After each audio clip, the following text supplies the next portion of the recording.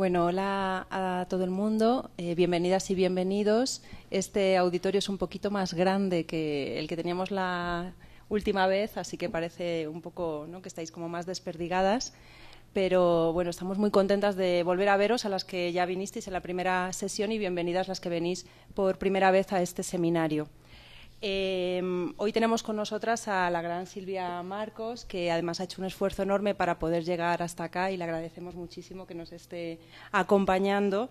Antes de nada voy a plantear, como hice el primer día, también voy a poner sobre la mesa algunas de las hipótesis o de los fundamentos teóricos con los que venimos trabajando desde nuestro proyecto de investigación. Posteriormente, Rita Cantó va a hacer una especie de eh, relatoría para retomar los problemas que salieron y los planteamientos que salieron en la primera sesión con Marc Aramillán con el objetivo de que podamos ir tejiendo conceptos comunes, de que podamos ir armando un mapa más o menos común de los conceptos más importantes que vayan, que vayan surgiendo y que podamos ir hilando entonces discursos. Eh, después nos, Dulce eh, López eh, presentará a Silvia y después le cederemos la palabra, por supuesto, a Silvia Marcos. Bueno, yo quiero empezar comentando algo que ya comenté en la primera sesión y que tiene que ver justamente con el propio sentido de la filosofía, con qué entendemos por filosofía. Y esto lo digo porque, eh, como comentaba en la primera sesión, quizá alguien se podría preguntar cómo es que un seminario de este tipo, ¿verdad? Un seminario para pensar la violencia, la subjetividad, el poder, y además desde la perspectiva de los feminismos lo estamos ubicando dentro de la disciplina de la filosofía.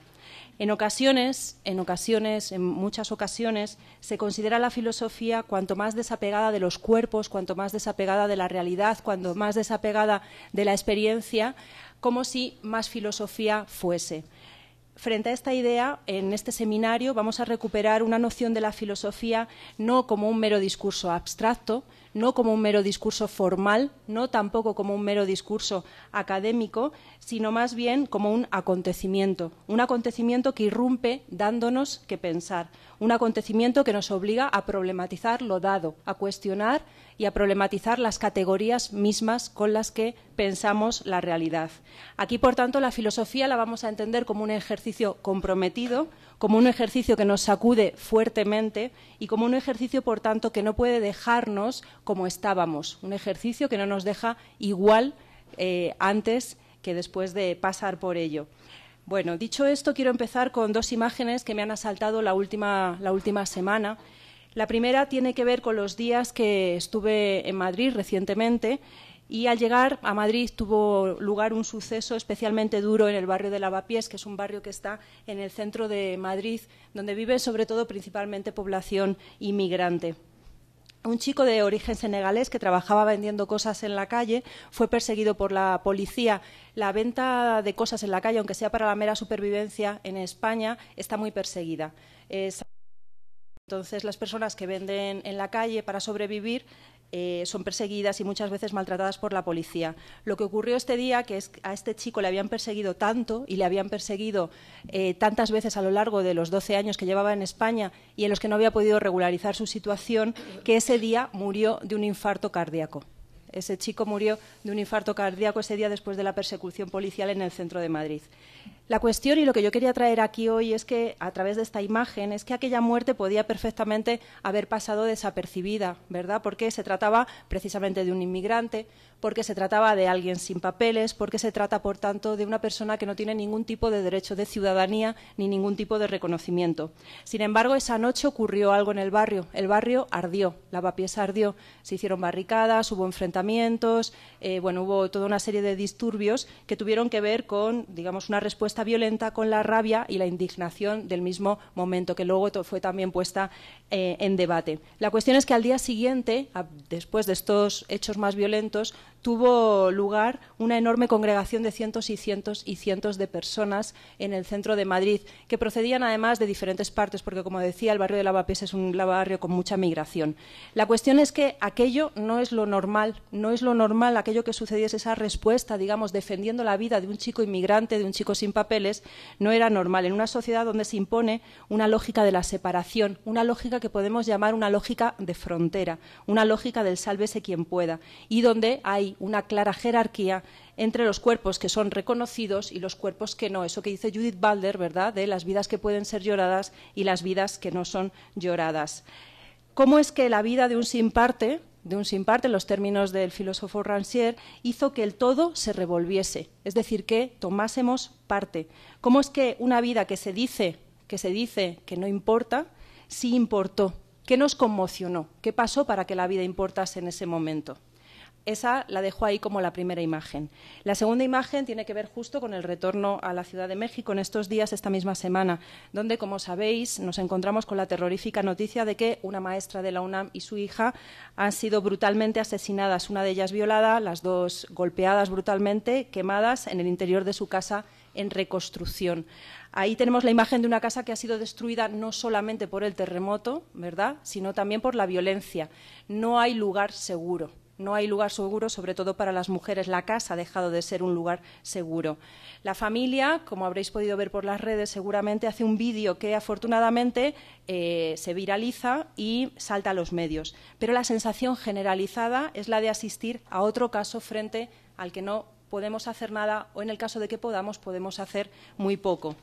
Como se decía en nuestra primera sesión, ¿verdad? Tenemos este dilema que habría que pensar también más a, fondo de, de un desacople entre lo que sabemos y lo que podemos. No hay una relación directa entre el saber y el poder hablando de estas cuestiones con una amiga, me dice justamente que para sobrevivir una no puede dejarse afectar porque si no se hace insoportable. En nuestro mundo hoy día tendríamos que no afectarnos para poder soportar la realidad que estamos viviendo.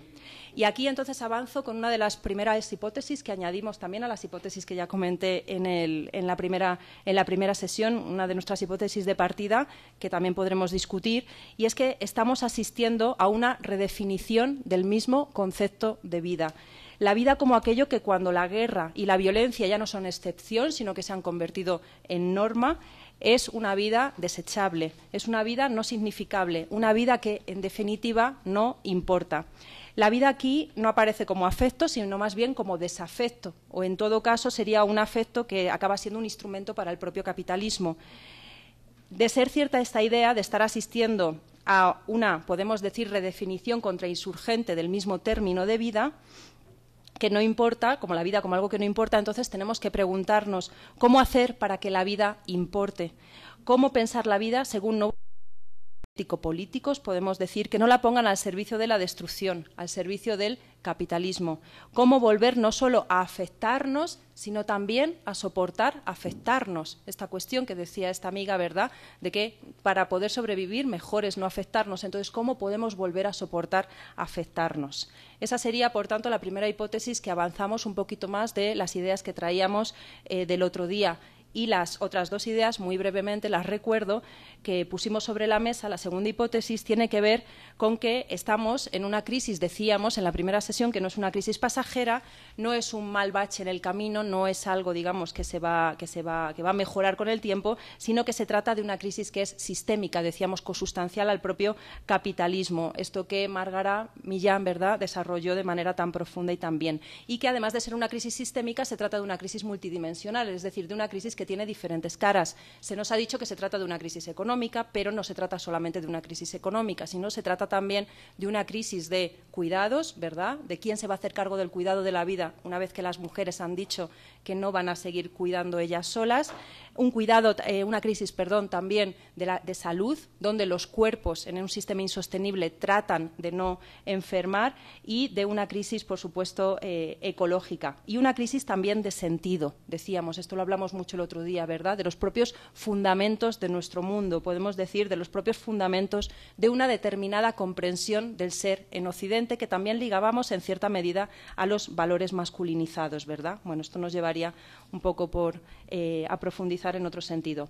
Y la última hipótesis que tiene que ver eh, con esta crisis, decíamos el otro día, es que, dada precisamente esta situación, dada este contexto de crisis que decimos es sistémica y que es multidimensional, en los feminismos contemporáneos encontramos herramientas que son clave para pensar los procesos de politización. ¿Por qué? Porque en los feminismos contemporáneos no solo se pone sobre la mesa una exigencia de igualdad de derechos, una exigencia de mejoras, digamos, de condiciones, sino que lo que hay en juego, lo que hay en el debate es una comprensión ontológica, ética y política diferente.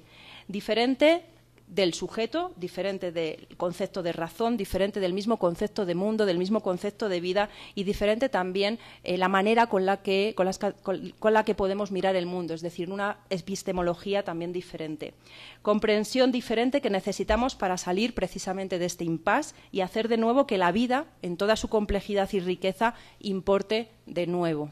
Bueno, dicho esto, también eh, previo a entrar al seminario tenemos la triste noticia de anoche también otros tres estudiantes que fueron eh, asesinados de la, de la UASM, ¿verdad?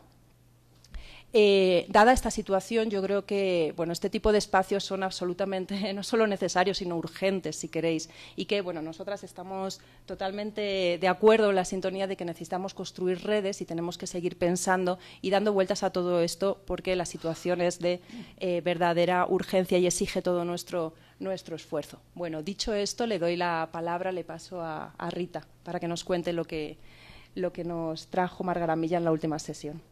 Sí, muchas gracias. Buenas tardes.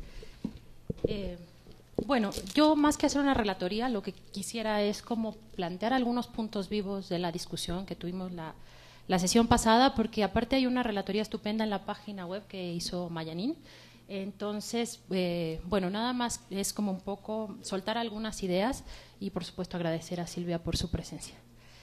Eh, bueno, entonces, algunos de estos puntos vivos que nos presentó Margar y, aparte de, bueno, a, raíz de como todo el estudio tan profundo que ella ha hecho sobre el problema de la modernidad, ¿no? y me parece que la, la tesis más radical que nos vino a plantar es que la modernidad es precisamente lo que todavía no es.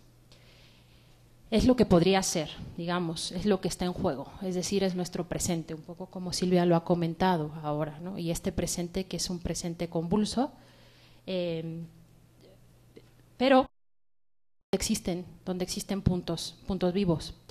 Eh, porque la modernidad, por ejemplo, para Márgara, no es, eh, digamos, no, no, ha sido o no es precisamente porque ha sido una modernidad capitalista.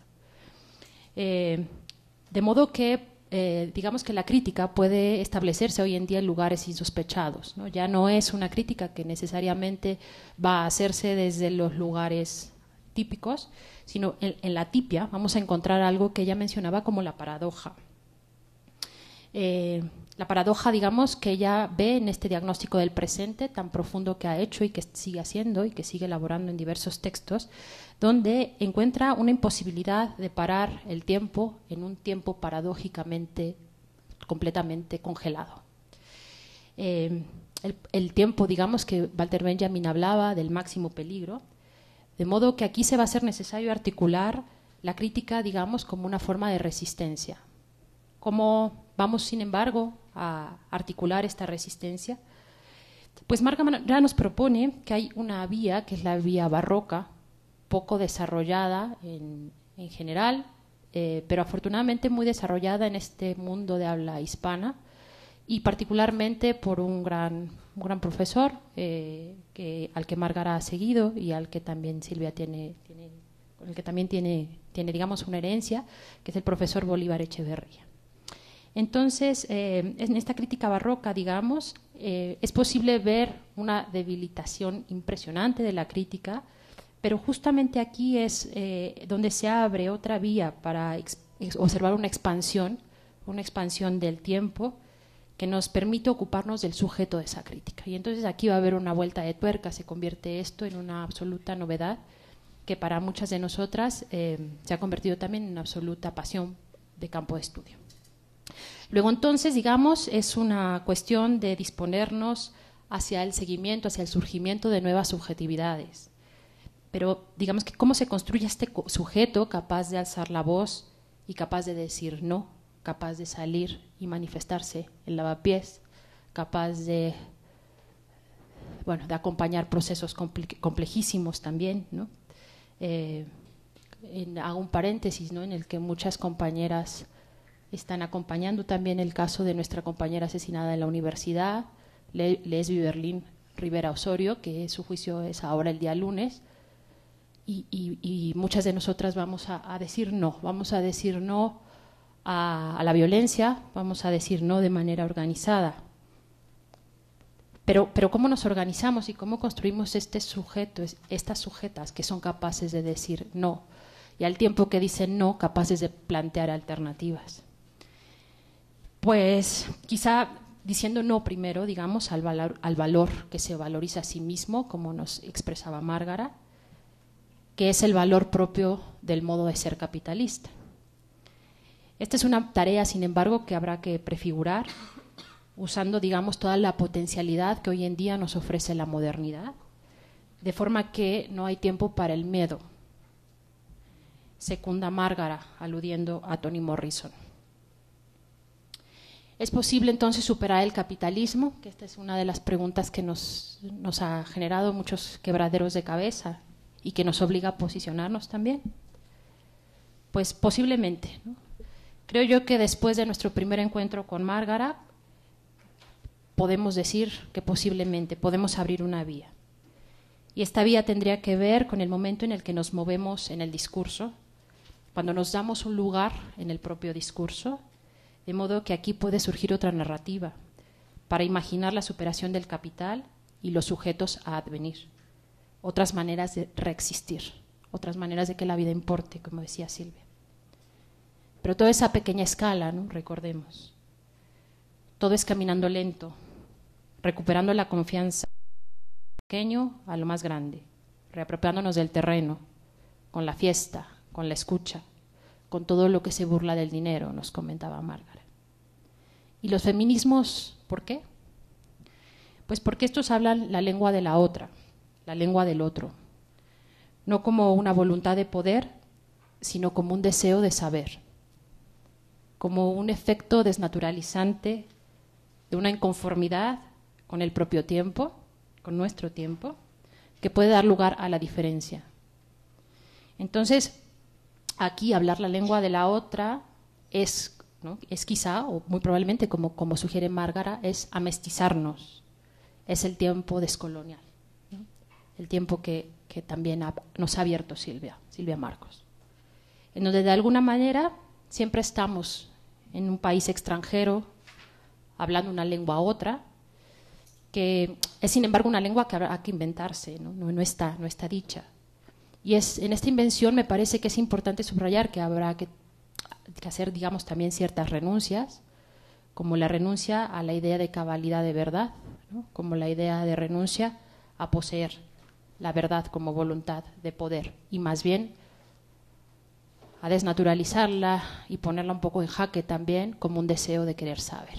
Y en ese deseo de querer saber, pues Dulce nos, nos va a introducir con nuestra querida Silvia Marcos. Sí, tenemos el gusto de que en esta segunda sesión esté con nosotros Silvia Marcos, que es socióloga, psicóloga y profesora investigadora comprometida con los movimientos indígenas de las Américas. Forma parte de la red de feminismos descoloniales y es impulsora de la revisión en el campo de la epistemología feminista, las religiones mesoamericanas y las mujeres en los movimientos indígenas, así como defensora de una hermenéutica, teoría y práctica antihegemónica feminista. Silvia ha escrito varios libros, artículos y publicado ampliamente sus investigaciones etnohistóricas. Algunas de sus obras son Tomado de los labios, género y eros en Mesoamérica, Cruzando Fronteras, Mujeres Indígenas y Feminismos abajo y a la izquierda, Mujeres Indígenas Rebeldes Zapatistas y Mujeres Indígenas y Cosmovisión Descolonial.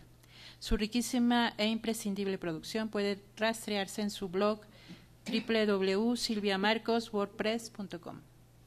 Gracias Silvia por estar con nosotros.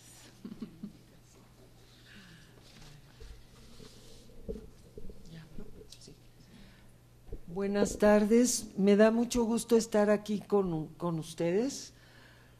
Tuve que echarme un viajezón bastante grande desde Cuernavaca para llegar acá, pero yo pienso ya, ya tuvimos una conversación aquí las, las cuatro y ya en ese momento dije qué bueno que vine.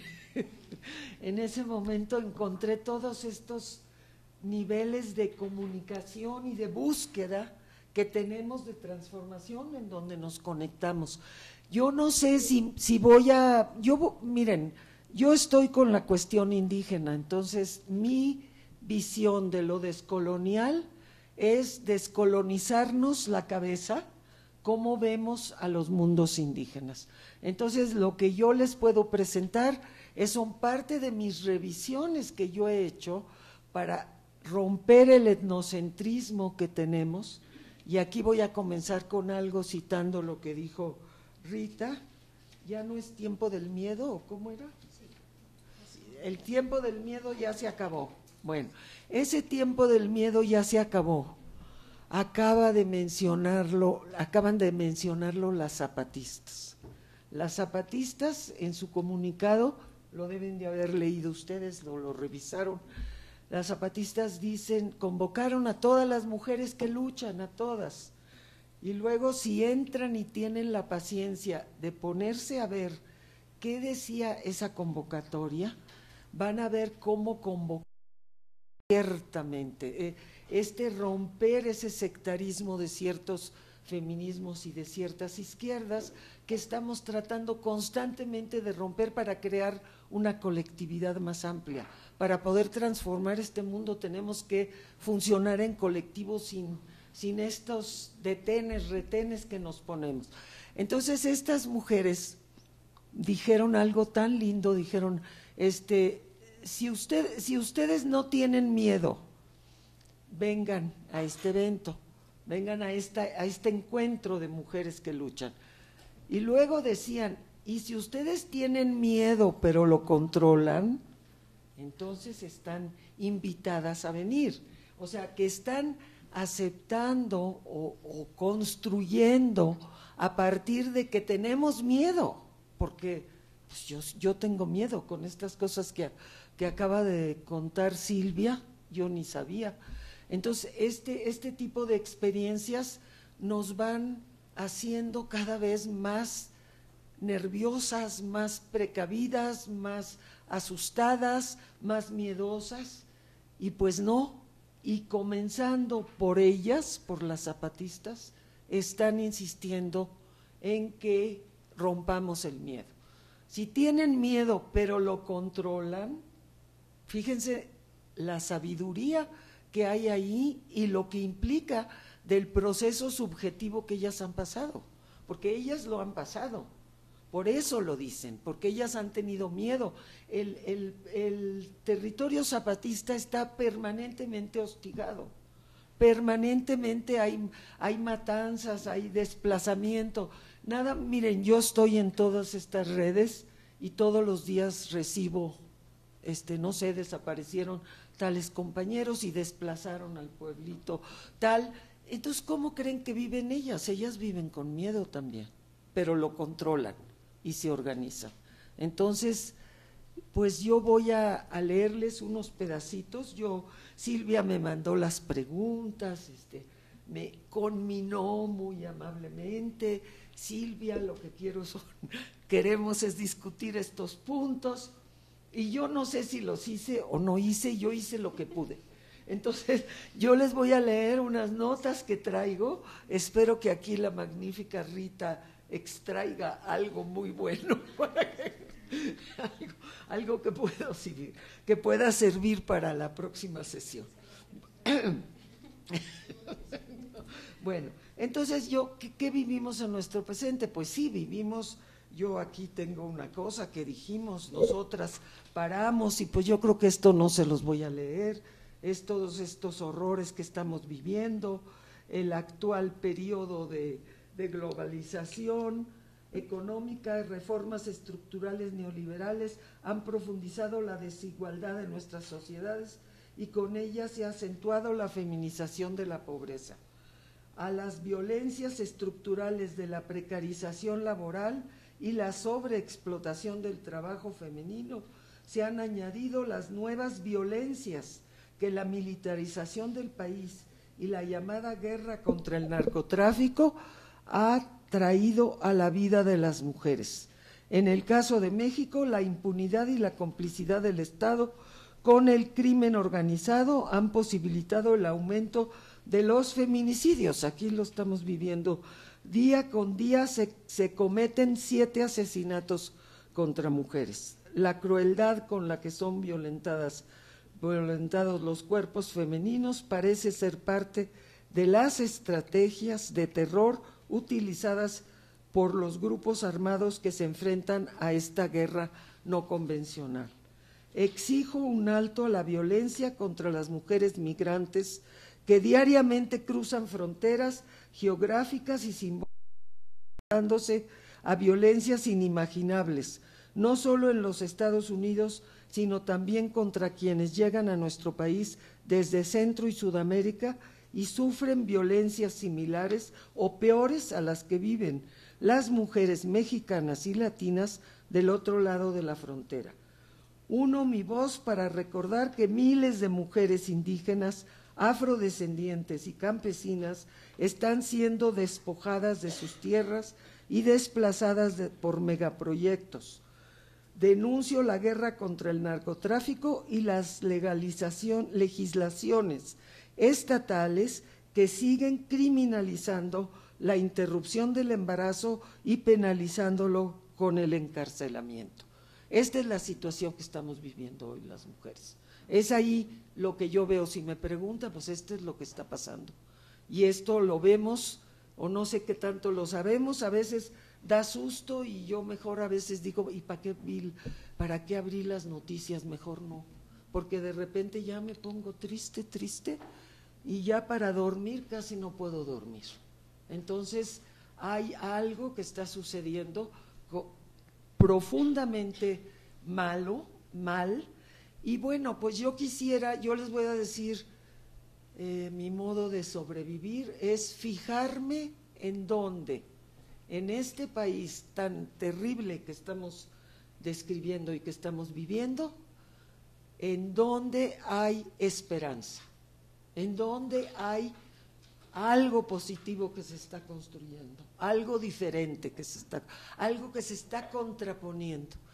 Yo lo veo no solo en este país, la irrupción masiva de marchas de mujeres cada vez más masivas, ¿eh? porque en el cono sur ha habido unas impresionantes, o sea, yo estoy suscrita a muchos boletines electrónicos, entonces eso no sale en los medios, eso se borra de los medios, se invisibiliza, pero hay unas marchas masivas que acabaron unidas, todas esas mujeres del cono sur, que son de todos colores, porque hay muchos inmigrantes europeos allá, acabaron en la zona del Chaco con los indígenas Com. Los indígenas Com todavía viven en una forma semitribal y acabaron unidas con los indígenas Com, con las indígenas Com, para formar una articulación. A mí eso me impresionó terriblemente. Hace años el cono sur era, se autoidentificaba como blanco, se autoidentificaba como venido de Italia, venido de, España. Ahora esto, ¿y de dónde viene? De las mujeres. Son las mujeres organizadas que están haciendo eso. Repetidas marchas en México, pues hemos sabido cuántas marchas ha habido. Ha habido esas marchas masivas, increíbles. O sea, yo no sé qué tantas de ustedes sepan, pero eso es una importancia para hacer la historia reciente hay que tomar los datos de esas marchas cada vez más masivas de mujeres que están irrumpiendo, irrumpiendo en los tejidos sociales enfermos, violentos, destructivos que estamos viviendo ahora, no solo en México, pero parece que México es el segundo después de Siria. ¿Sabían eso?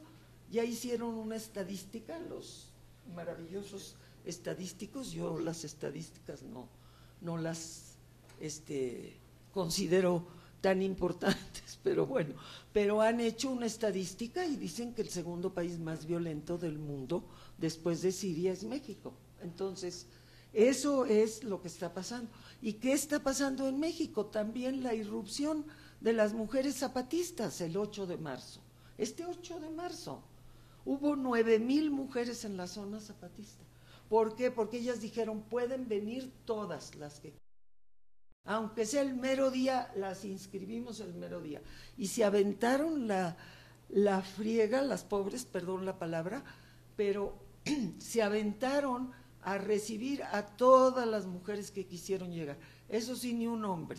Prohibida la entrada a los hombres. Nada más puras mujeres. Y uno dice, ay, esas son sectaristas, es un feminismo sectarista. No es un feminismo sectarista, no son cuotas de género, no son nada de las categorías que usamos para los feminismos, es otra cosa que se está gestando entre las zapatistas. Y figúrense que yo leí, porque vi, les voy a contar esto, se divierten un ratito y ya, no importa. Este, leí, encontré el eh, rehabilitación, el macho en rehabilitación, ¿lo conocen ese programa? Es un programa, bueno, pues se los recomiendo.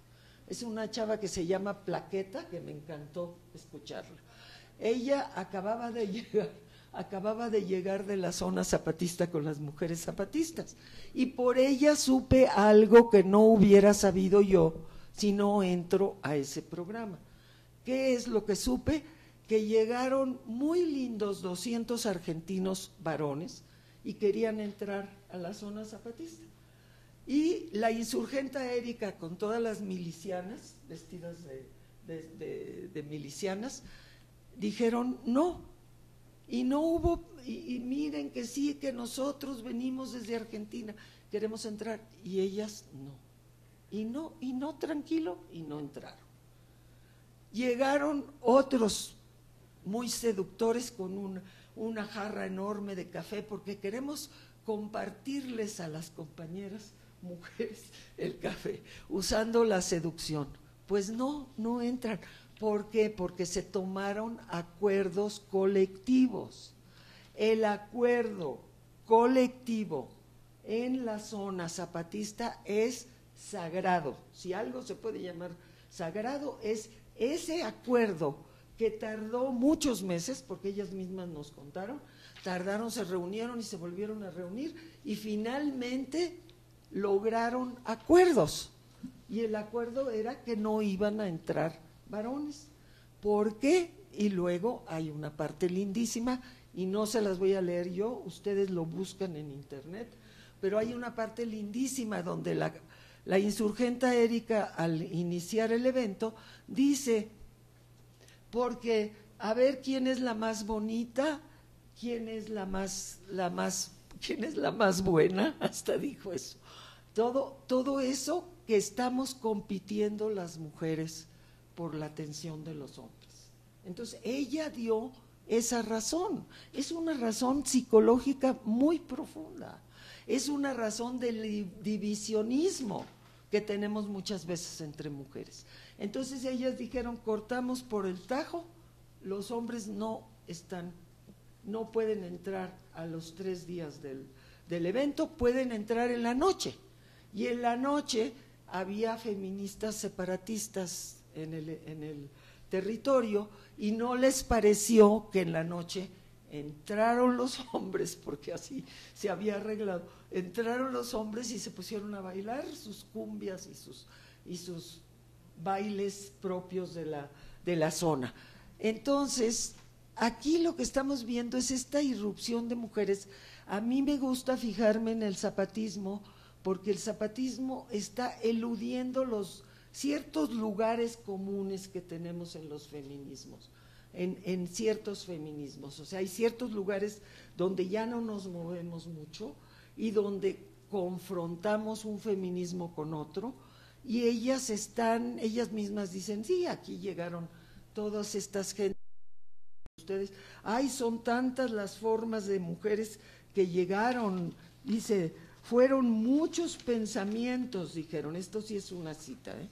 fueron muchos pensamientos diferentes que llegaron a estas tierras zapatistas. Entonces empiezan a explicar algo de la igualdad y de la diferencia.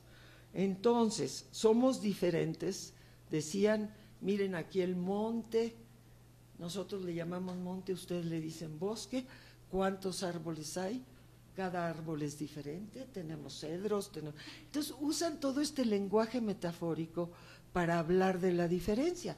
Entonces, así somos las mujeres pero todas somos mujeres, luego decían, y todas estando. Entonces, también somos iguales. Entonces hacen toda una propuesta que, que hace los linderos de la teoría feminista, pero la hace desde otro lugar y la hace con otra terminología. Entonces a mí eso me parece, eh, a eso me he dedicado yo mucho. Entonces, bueno, ya les voy a leer un poquito más unos, unos, este, aquí hay una pregunta que me hizo aquí Silvia, o las compañeras todas.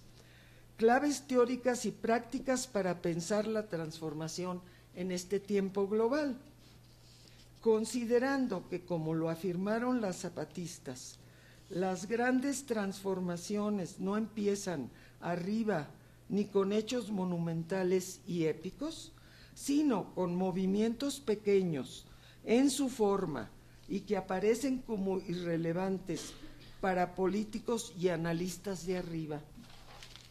Entonces, yo digo aquí, creo que nuestra participación aquí ya estoy hablando como académica, como académicas que aportamos al pensar transformativo, tiene que estar afincada en una metodología procesual participativa.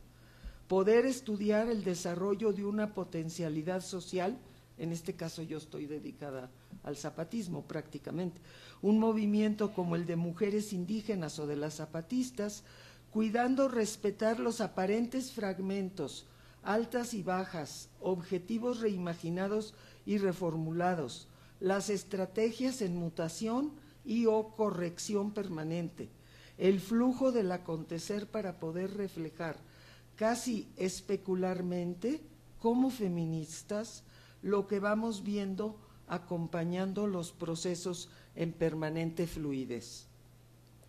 Esto también se refleja en conceptos de subjetividad, ya que para mí los movimientos tienen su propia subjetividad, es colectiva.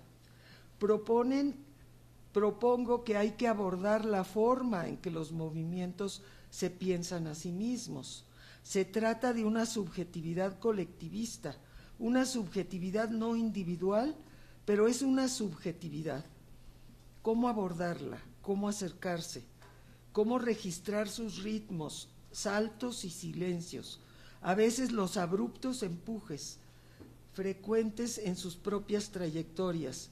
Hay que poner la mirada en el proceso y los procesos plurales que se entretejen en ese permanente estira y afloja, de muchos cambios y de permanencias profundas.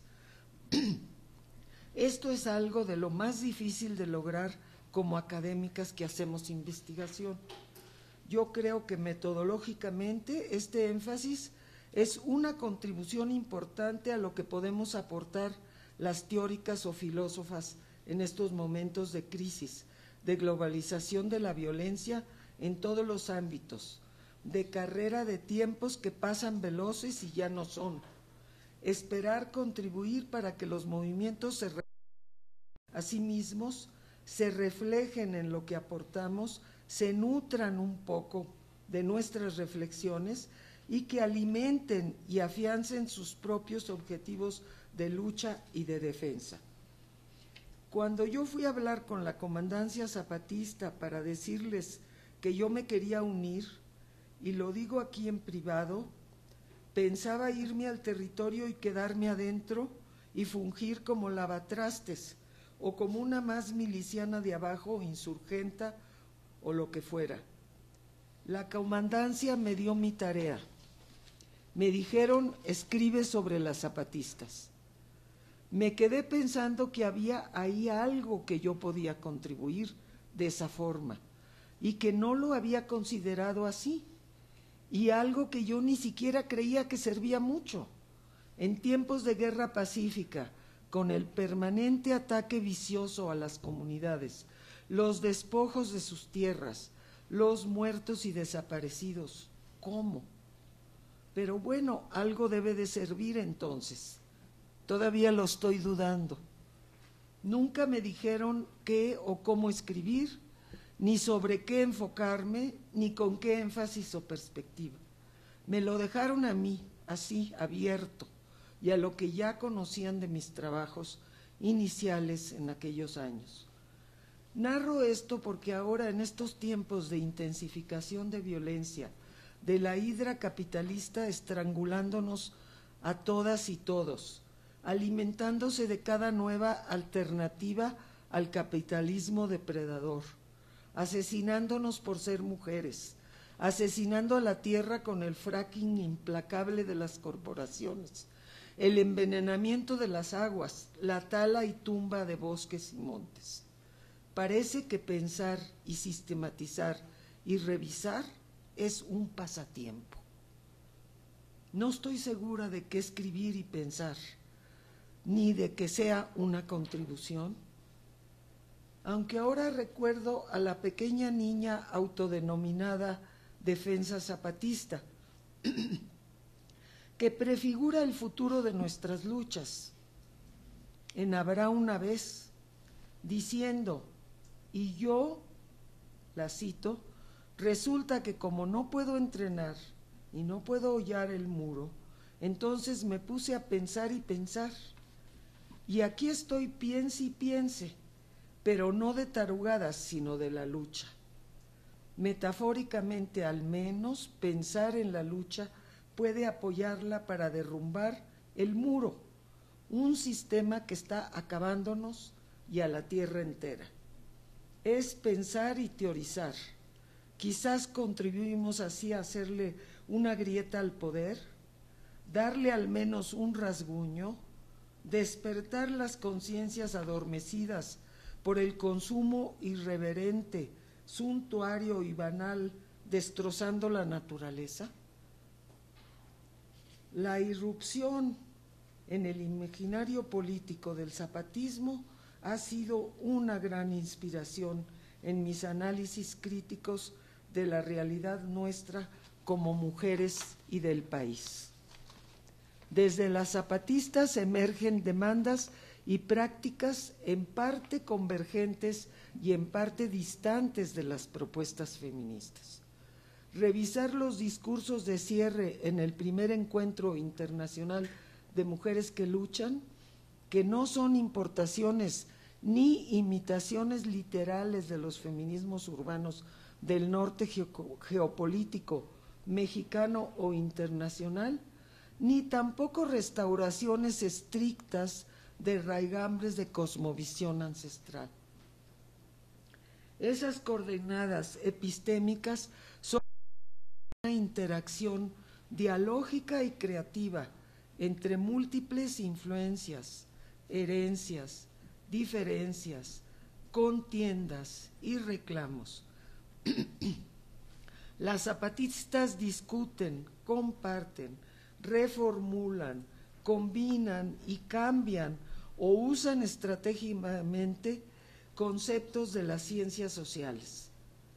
Como mujeres pobres entretejidas en colectivos, con filtraciones ancestrales mayas y expuestas a las propuestas feministas, ellas reconocen aportes a la justicia de género, pero a su vez son el origen de nuevas propuestas. Estas son formas de concebir un feminismo indígena, entre comillas, que por extensión revitaliza y renueva expresiones de feminismos urbanos teóricos, complejos, pero desterritorializados. Para mí el feminismo es una propuesta ética y política. Un camino que he elegido es la recuperación de la dignidad, valor y factibilidad de renovar nuestro pensar, pensar hacer con los retazos que sobreviven de los pasados mesoamericanos. Recuerdo a Gadamer afirmando, la tradición no es lo que del pasado permanece, sino lo que de él sobrevive. Creo que ahí hay una mina de conocimientos, pensares, haceres, organización que podemos hacer sobrevivir adaptándose a nuestros tiempos y situaciones, a las concepciones y actuaciones de poderes contemporáneos, a las violencias múltiples que nos aquejan. He seguido cuidadosamente el proceso político zapatista desde su inicio, con Flor en Otomí, y ahí descubro ese tinte, esa capacidad, esa posibilidad llevada a su máximo, especialmente en el campo de las mujeres. He escrito abundantemente, pero ahora solo puedo dar un par de ejemplos a partir del último gran encuentro de mujeres que luchan. Y estos ejemplos ya se los dije hablando. Entonces, son este no firme, este no tranquilo, este no fundamentado en la psicología profunda de nosotras como seres humanos, que queremos siempre agradar al varón. Ahí estamos, somos sujetas, somos sumisas, hemos sido creadas para agradar a los hombres. No, no nos podemos quitar esa, esa, esa camisa de fuerza en la que crecimos tan fácilmente, ahí está. Es parte de las herencias psicológicas de nosotras como mujeres.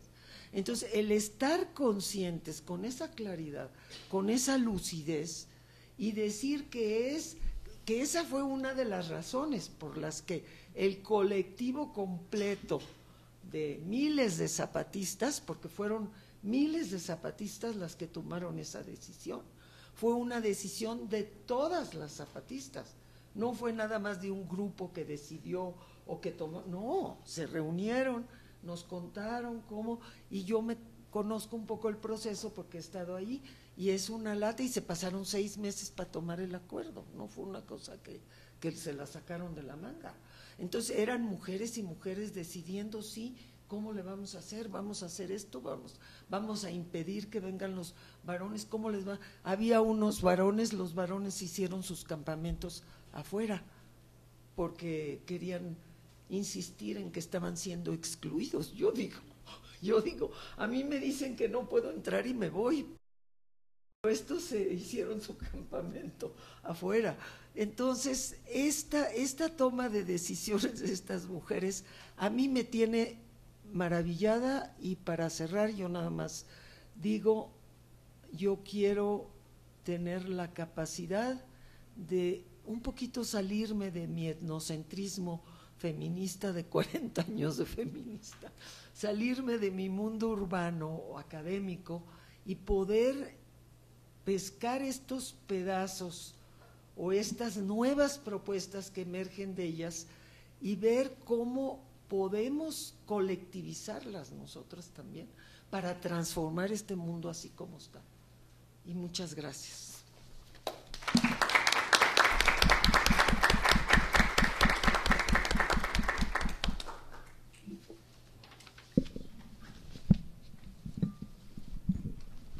Vale, muchísimas gracias Silvia por tu exposición. Eh, si queréis abrimos turno de palabras y y quien quiera empezar, pues levante la mano. ¿Tenemos ¿No va?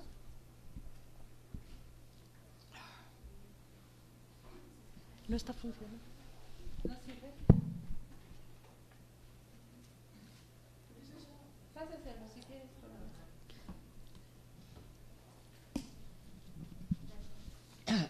Gracias Silvia por tu intervención. Eh, yo tengo solamente dos preguntas. Una es si las zapatistas se consideran feministas, si así lo, lo manifiestan, si así lo dicen como tal. Y la otra es eh, en esta posibilidad de, de, dar como ese, ese discurso, esa, esa visión no etnocentrista, hay una posibilidad de acercarse a ese conocimiento, a esas reflexiones, de una manera que no sea yendo a, la, a los únicamente, ¿no? Exclusivamente yendo a los caracoles, sino hay una posibilidad de que ellas hayan escrito algo y a lo mejor yo no conozco o que tengan alguna, no sé, una reflexión eh, escrita o seguramente oral que podamos nosotros acceder a ella. Y ya, nada más. Muchas gracias. Ah, me este, llamo Mariana. Mariana, ¿y dónde ah, estudias? ¿Eres, ¿Eres de acá? No, yo soy de, estuve en filosofía en la facultad y de la UNAM o sea, como si fuera la única, ¿no? Este, y también ahora estoy trabajando con mujeres de Guerrero, eh, indígenas y afromexicanas. Sí. Pues eh, contesto ahorita, sí, contesto. Bueno, este, ese, eso es, hay que meterle el, el análisis metodológico del proceso. O sea, hay, hace, en los años en los que yo he estado cercana, al principio, por supuesto, no eran, no querían nada con el feminismo. No querían, era un rechazo absoluto. Y es más, hubo una temporada que había muchos grupos feministas en, en San Cristóbal que querían ayudar porque querían ir a ayudarles para que se liberaran porque es típico, típico de que creen que porque son indígenas no saben nada, porque, porque ahí entra el etnocentrismo clasista de México. O sea, vivimos en un tejido social donde si tú eres violentada como mujer esposa de un político, tú piensas que las indias tienen que estar peor. ¿Por qué? Porque tú estás arriba en el, en el contexto social, o tú eres una académica reconocida y te dan tus buenos guamazos el compañero, que yo lo sé que pasa, pero siempre hay la presuposición de que porque están pobres y son indígenas están peor. Hay una espontánea evaluación. Entonces, muchos años, hasta el 2003, desde el 1900 94 hasta el 2003 hubo una permanente tráfico de mujeres que iban muy voluntariamente y había unas españolas también, una, una, española filósofa muy conocida, sí, ya debes de saber de quién hablo, pero bueno, entonces, este, entonces había esta buena voluntad de ir a ayudarles para que se liberen pobrecitas. Entonces, en el 2003 cerraron las, bueno, se reunieron, como hacen ellos, todos sus consejos este, colectivos y decidieron que ya el territorio no iba a estar abierto y que tenían que negociar con cada comunidad, pero como ellos están organizados por zona y luego por municipios autónomos y luego por comunidad, pues que la gente que quisiera entrar a trabajar o a enseñarles algo ahí, pues, o hacer una investigación que tenían que este, pedir permiso a la colectividad. Y entonces ahí ya bajó, porque ya no, ya no hubo muchos que muchos grupos que pudieran pasar esa, esa, esa frontera. Ahora te voy a decir algo que es muy interesante el proceso. ¿eh?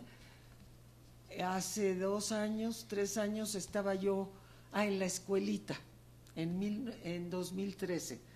Estaba una chava de 17 años, Eloísa, de maestra, y dijo, ya no queremos que nos vengan a enseñar. Entonces esta chavita ya había crecido con esa experiencia de que lo que viene de afuera es para venirles a enseñar. Y no, y hay una presuposición de que no saben, ¿verdad? O sea, no es venir a ver ellas cómo se las arreglan, sino es venir a ver cómo les enseño cómo yo creo que ustedes se tienen que liberar, porque es eso. Entonces, allí había un desencuentro muy tajante con el feminismo. Ahora ya estamos en otro tiempo. Ahora con el encuentro feminista llegaron feministas de todos los colores y de todos los sabores. Y, les abrieron las puertas y escucharon y todo el mundo pudo hablar. Y ahora ellas están aceptando una postura que incorpora las posturas pluri, pluralistas o como pudiéramos decir, de pluriverso feministas. Ahora ya están con otra propuesta. No creo que ellas se llamen todavía a sí mismas feministas. No creo que ellas se autoconsideren feministas, pero son mujeres que luchan. Y cuando ves que les ponen que no entren los varones, y cuando exigen tener eh, espacios de poder en la organización política y exigen ser este, directivas en las, en las juntas de buen gobierno, pues ahí dices tú, pues un momentito, para mí es, eso es feminismo, para mí. Pero ellas, pues quién sabe cómo tienen, de lo que han experimentado con, con el feminismo, con los feminismos que han llegado, pues se han hecho un estereotipo un poco caricatural, ¿verdad? De un tipo de feminismo etnocéntrico que considera que sabe mejor que ellas y que viene a compartir la sabiduría feminista para que se liberen. Eso deben de pensar ellas de los feminismos, o deben de haberlo pensado mucho tiempo, ya no, no creo, pero es el proceso, o sea, hay un poquito de todo. Eso para contestar la primera pregunta. La segunda que era... ah, que sí, pues con los orales. Ahí te recomiendo que consigas las rebeldías. Rebeldías hubo unos años que transcribieron extensivamente puras entrevistas con mujeres zapatistas, transcritas así tal cual como ellas hablan. Y por supuesto, si entras a internet puedes bajar todo. En internet están discursos desde 2000 2001, 2002, es tan increíble cómo se ha recuperado lo que decían en a la apertura de los eventos, y pues sí es una tradición oral, entonces sí hay, ahí entra la metodología para estudiar la oralidad, es otra metodología feminista que yo uso y que es imprescindible, porque ahí no puedes esperar que te hagan un tratado por escrito, ahí es cómo se expresan y ver muy bien en sus formas orales qué quiere decir, porque tienen otra sintaxis, tienen sintaxis sotzil, celtal, chol, tojolabal. Entonces hay que aprender de las lenguas para ver qué en realidad están diciendo cuando lo hablan en Castilla. Que Castilla, también eso lo he revisado yo un poco, la Castilla no es español, la Castilla es el español que se habla en las zonas del territorio zapatista, puede uno decirlo ya así. Son de varias etnias. Entonces está muy influida la Castilla por la sintaxis y por los, por los significados de las palabras. Y por eso emergieron tantos femeninos. Fíjate, otra de esas grandes este, paradojas del zapatismo es que de repente nosotras batallando con el femenino y no, y hay que ponerle la at para que capamos las mujeres y hay que hacer no sé qué, y de repente aparecen este, las jóvenes, las insurgentas, las capitanas, y esto pues son términos eh, incorrectos en español.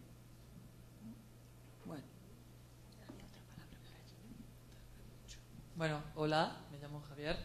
Y mi pregunta tiene que ver más con lo que habían hablado anteriormente sobre Margaret Millán y me parece ser que en todas estas conferencias que ha habido, bueno, no estuve la vez pasada, pero la vi desde la computadora, eh, parece ser que hay como esta asociación entre feminismo y ser anticapitalista. Entonces mi pregunta es, ¿es una relación entre el que el feminismo es en esencia anticapitalista o que todo anticapitalista tiene que ser feminista o cuál es la relación que existe entre capitalismo, bueno, anticapitalismo y feminismo que se tiene que seguir como tan fuertemente. Pues eh, también me voy a referir al último encuentro, al último encuentro de las feministas, de las zapatistas, ya estoy diciendo, de las zapatistas, pues eh, fíjate qué curioso, ¿eh? porque del público, cuando ellas hablaban, que unían su propuesta de mujeres que luchan con ser anticapitalistas y decir que el capitalismo es patriarcal, o sea, fusionar el capitalismo con el patriarcalismo. Ellas lo decían así. Y es un disco, son unas especies de slóganes que han empezado a, a pervivir o a emerger de varias luchas de mujeres indígenas, no solo de las zapatistas. ¿eh? hay varias mujeres, este, Lorena, Lorena Cabnal, o sea, varias de ellas que son mujeres fuertes, las mujeres del feminismo comunitario, equiparan el, patriarcalismo con, con, el, con el capitalismo. O sea, casi uno, el otro, uno al otro se apoyan, ¿verdad? Bueno, ahora en este encuentro, que fue el mes pasado, eh, había muchas mujeres, como abrieron y todo el mundo podía ir, pues había muchas mujeres que no estuvieron de acuerdo. Cuando las compañeras estaban dando su discurso de cierre, la compañera Alejandra, que era una muchacha joven de unos 18, 19 años, cuando ella dijo eso, del público, como eran 10 mil mujeres ahí, o 9 mil mujeres, entonces no, que no, entonces se dio cuenta ella que no estaban de acuerdo una parte de las mujeres que estaban ahí. Y entonces cerraron diciendo, sabemos que unas de ustedes no están de acuerdo con el anticapitalismo, pero sí están contra el antipatriarcalismo, ¿verdad? Entonces, pues cada quien, ustedes vayan a su lugar y sigan luchando. Yo, francamente, en eso veo la posibilidad de crear un colectivo sin sectarismos, en eso que pasó ahí, y que viene de ellas, porque ellas fueron las que decidieron tomar esa decisión. Entonces, yo no te estoy contestando con manuales o con eh, reflexiones teóricas mías, te estoy contestando con un movimiento vivo que, que acaba de hacer presencia fuerte, que convocó mujeres de muchas, vinieron mujeres de 40 países, vinieron mujeres de toda América y de muchas partes de Europa. Entonces, eh, estas influencias de un movimiento vivo, pues pueden tener mucho impacto. No digo que vayan a impactar a nivel de sectores académicos o de los sectores pensadores adentro del zapatismo. No sé, no sé qué, qué, pensarían, por ejemplo, mis, mis colegas de la asociación civil, que son tan, tan rigurosamente izquierdistas, no sé. Pero de estas mujeres que están luchando y que están allí en la brecha, estas mujeres dicen, ustedes tienen su espacio de lucha, no están de acuerdo, sigan adelante, ustedes hagan su lucha, nosotros hacemos nuestra lucha y cada quien tiene que seguir haciendo su lucha. Entonces, nos están poniendo un ejemplo otra vez, una posibilidad de romper estas cosas que sectarias que creamos todo el tiempo, todo el tiempo, sobre todo en ámbitos académicos, estarse peleando por ideas, como decía Silvia muy bien, filosofía era entre más abstracto y más mental y más sin cuerpo, entre más filosofía era, ¿verdad? Entonces, ahora bien incorporado y en los cuerpos de las indígenas mexicanas. Eso, me encanta. Bueno, a ver.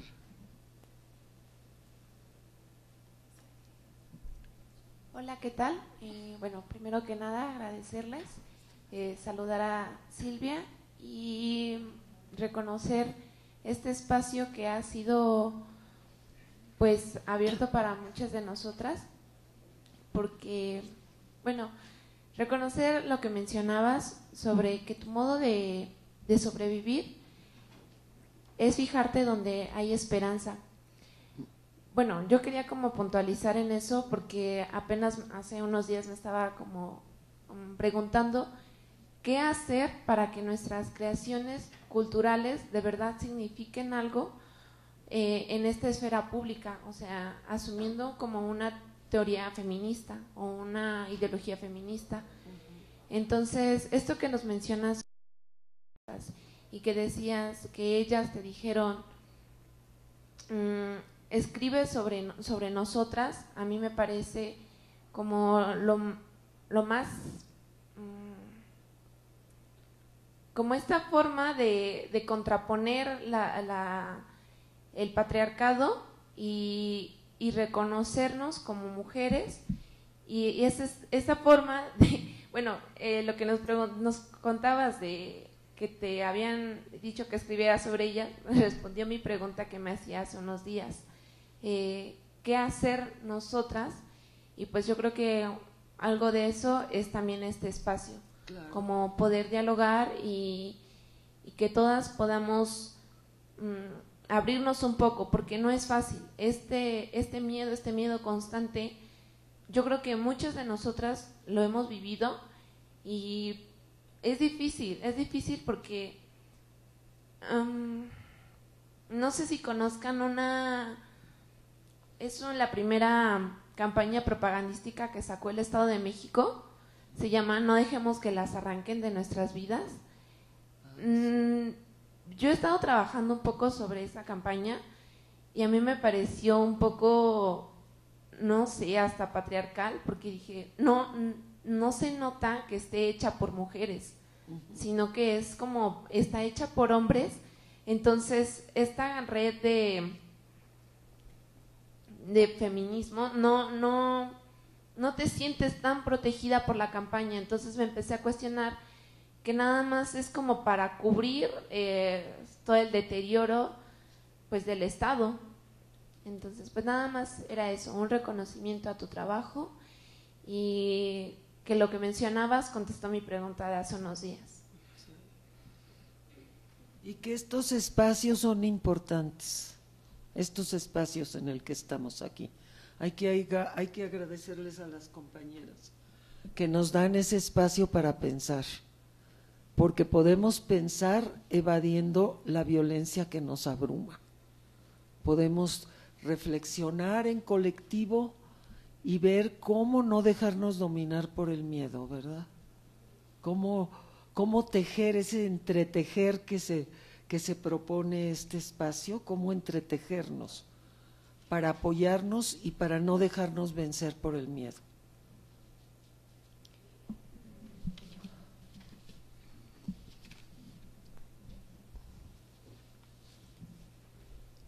Buenas tardes, eh, soy Daniela Díaz soy investigadora de Fundar y mi consulta es la siguiente. Tú señalabas como estas mm, situaciones de expropiación y destrucción de la tierra como el fracking, que es un tema que Fundar ha trabajado bastante. Y en relación a lo que señalabas ahora de entretejer, si acaso las mujeres zapatistas eh, entretejen, cómo se relacionan con otras orgánicas indígenas como la CONAMI, por ejemplo, o, ah. o no necesariamente orgánicas con identidad indígena, que están precisamente en acciones de defensa de la tierra, tanto por específicamente el fracking o por mineras. Sí, sí. O, Entonces, o eólicas, o olvídate de todo ahí. La, la, pregunta la hago también en el sentido de, de de, y tu valoración, digo, como enorme conocedora del zapatismo, de la trascendencia, como de las... Yo soy una ignorante del zapatismo, entonces como siempre me he hecho esa pregunta de la resistencia, ¿cuál es el valor de la resistencia, además del valor en sí mismo, ¿no? como del valor obvio que lo tiene, cuando tienes un una población indígena con demandas, con activismo, con políticas desde los pueblos indígenas. Entonces, ¿cómo trasciende en este caso desde las mujeres hacia, por ejemplo, estas otras acciones de resistencia? Eh, yo, bueno, de lo que yo sé, hay un contacto muy cercano, ¿eh? sobre todo con el CNI, el Congreso Nacional Indígena, y el Consejo Indígena de Gobierno, no sé si has estado al tanto de cómo este, se formó el Consejo Indígena de Gobierno, el, la, la, trayectoria que hicieron las concejalas con María de Jesús patricio por todo el territorio mexicano, o sea, fue impresionante. Hicieron un, entonces hicieron un conecte con pueblitos que, digo yo, ves, tú dices que soy una gran conocedora, pues no, era muy ignorante, yo no sabía que había ciertos pueblos a donde llegaron, a donde llegó María de Jesús. Los guarijíos, yo no sabía qué es eso, ¿dónde están? Están arriba de la Sierra Madre Oriental, cerca de la, entre los yaquis y los rarámuris. Ahí hay un pueblito y un, una, una, un, un conjunto de pueblos que son este, este grupo indígena. Y allá llegó María de Jesús y allá llegaron las concejalas que la acompañaban. También a la zona limítrofe entre Chiapas y Tabasco, que es otro lugar que pues está totalmente virgen, totalmente aislado. Entonces, tú ves que el zapatismo está muy vinculado con este proyecto del CNI. El zapatismo incitó, propuso al CNI que hicieran esta, esta campaña preelectoral a ver si María de Jesús Patricio lograba tener la cantidad de votos requeridos para aparecer en la boleta, en la boleta electoral. Entonces tú ves la, la vinculación fuertísima con los pueblos indígenas, o sea, ahí hay una un privilegiar ese sector de la población. Y luego también decían los barrios y los... Entonces también hablaban de los barrios pobres de las ciudades también. Y hay mucha migración en los barrios pobres de las ciudades, de las poblaciones indígenas. Hay aquí en México, yo no sé cuántas de ustedes sepan, pero hay comunidades completas de triquis de Oaxaca, de, varias etnias. Viven recrean su comunidad en la Ciudad de México. Hay casi un millón de indígenas viviendo en la Ciudad de México y viviendo con sus propias redes sociales. Entonces, este contacto que tú me preguntas es muy vivo. Es muy vivo y es muy invisibilizado, por supuesto. Y es algo que, que asusta al poder, ¿verdad? Por supuesto. Porque es un sector del, del, pueblo que nunca se ha tomado en cuenta, que creemos que no existe, hasta yo que me dedico a eso, no conozco, no conocía ciertos pueblos en México. Entonces, imagínate las demás personas, cómo estamos, estamos invisibles, cegadas, cegadas por los medios, cegadas por el conocimiento, eh, aún siendo antropólogo y te metes y tienes lugares muy, muy decididos, muy definidos de a dónde puedes hacer trabajo de campo, en dónde te va a valer el trabajo que haces, qué tipo de metodología puedes usar, para qué, y entonces te quedas en el ámbito académico y ya no sirvió eso para conocer el país ni para transformar esta realidad tan, tan violenta y tan destructiva que estamos viviendo. Yo quería decir algo también. Em, a ver, si logro decirlo porque, porque me resulta bastante complicado pensarlo. Y es que, bueno, has dicho dos cosas que me parecían muy importantes para pensar la política hoy, los procesos de politización en general. La primera es esta cuestión de las zapatistas diciendo que no, que es un sí también. O sea, yo lo entiendo como eh, no ceder a la inacción, sino afirmar de otro modo esa afirmación de otro modo, ¿no? Y yo creo que necesitamos mucho afirmar de esa otra manera, ¿no? Aprender a decir de otro modo. Entonces, por una parte tenemos eso y por otra parte esta cuestión que has dicho clave también de las transformaciones no empiezan arriba, empiezan, comienzan siempre abajo.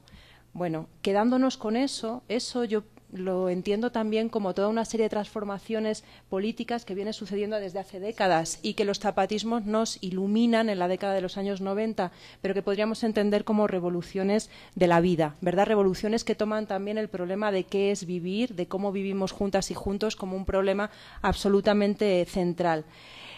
Siendo esto así, yo tengo una inquietud que siempre acabo sacando en algún momento y, me cuesta, lo que digo, me cuesta pensar, y es cómo podemos eh, hacer para o pensar eh, que estas revoluciones de la vida, que son tan importantes, eh, ahora mismo en el contexto en el que estamos, que es un contexto, como decía al principio, de redefinición contrainsurgente del mismo concepto de vida, de aparición de nuevas formas de, guerra, eh, un contexto también de derechización de buena parte de los continentes, ¿verdad?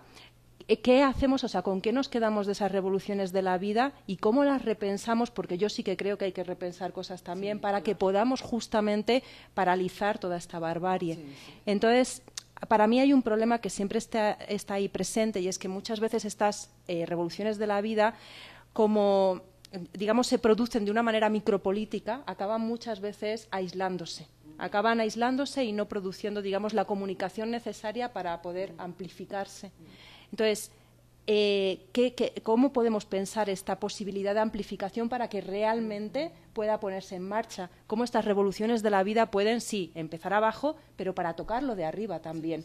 Porque si no tocamos lo de arriba, lo que está ocurriendo actualmente es que es justamente esos discursos conservadores, esos discursos eh, terribles que son los que están, digamos, hegemonizando los grandes conceptos, ya sea la nación, ya sea la familia, ya sea la idea de trabajo. Entonces, todas esas parcelas que a veces estaríamos como olvidando porque, bueno, estamos ahí en esas revoluciones más micropolíticas, ¿no?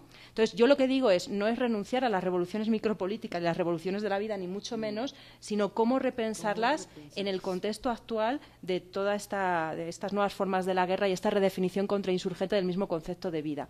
Y esto lo ligo con otro problema, porque, claro, cuando decías antes de, eh, es que dicen las zapatistas, tenemos miedo pero lo controlamos. Y eso me parece absolutamente clave, pero también creo que el contexto en otros lugares donde no tenemos un territorio en el que nos situamos y en el que nos reconocemos, entonces lo que ocurre, creo que eh, no es que estamos luchando contra algo que viene de fuera, sino que no sabemos ni siquiera por dónde viene todo aquello que nos da miedo, porque eh, uno de los problemas fundamentales es la soledad con la que tenemos que mirar al mundo. Entonces creo que eso es una diferencia fundamental entre los zapatismos, el zapatismo eh, y ciertas experiencias indígenas y la experiencia nuestra en las propias ciudades. Mientras que allá hay un nosotros del que partir y un nosotras, ¿no? en el caso de las, eh, de las zapatistas, en nuestro caso, digo nuestro, pensándonos como eh, mujeres que viven en las ciudades urbanas o que venimos de otras partes, etcétera. Ahí el problema es precisamente que nos hemos quedado sin nosotras y sin nosotros. O sea, ese punto de partida es justamente el que tenemos que volver a repensar. Entonces, ¿qué hacemos con eso? Porque podemos mirar las experiencias zapatistas, que es fundamental, pero cómo, o sea, estos problemas que son como más de base, ¿no? De la política, de la politización. Pues eh, justamente yo creo que una vez más, porque el zapatismo ha tratado la marcha color de la tierra, aquellas este, preguntas, ¿se acuerdan cuando salieron seis preguntas y fue una cosa? O sea, el zapatismo siempre ha tratado de, de hacer una propuesta nacional, no de quedarse. Los que lo hacen quedarse es el poder. O sea, el poder invisibiliza todo lo que están haciendo. En este caso de María de Jesús Patricio y del CNI, esa fue la propuesta. O sea, la propuesta política del zapatismo fue convocar al CNI para que el CNI rompiera esa micropolítica, que la expandiera en todo el país. Y nos decían constantemente, porque te digo por el colectivo en el que yo estoy en Morelos, ¿Y tú qué? O sea, era constantemente cómo te apropias de esto. Nosotros no te vamos a enseñar cómo. Nosotros tenemos una tierra. Nosotras, como decía una compañera ahora últimamente en, en la zona zapatista, nosotras aquí nacimos, aquí crecimos, aquí vivimos, aquí nos vamos a morir, aquí trabajamos. O sea, pero ustedes qué? ¿Ustedes cómo le van a hacer? Entonces yo recuerdo una señora ya grande, zapatista, que decía, y por aquí traía yo la cita, pero estaba la señora con su este pasamontaña, pero estaba diciendo, pero es que ellas que se defiendan, porque ellas ya están muy preocupadas por lo que nos pasa a nosotras en la ciudad, porque ya ven que las muchachas jóvenes están siendo, las mujeres afuera están siendo asesinadas Y e, ellas no tienen asesinatos en su territorio. Entonces dicen, sí, queremos que ellas se defiendan, que ellas este, se, muevan, que estaban preocupadas. Yo creo que por eso hicieron esta reunión amplísima, que viniera todo el mundo que quisiera, porque están preocupadas por cómo, por lo que estamos viviendo nosotras.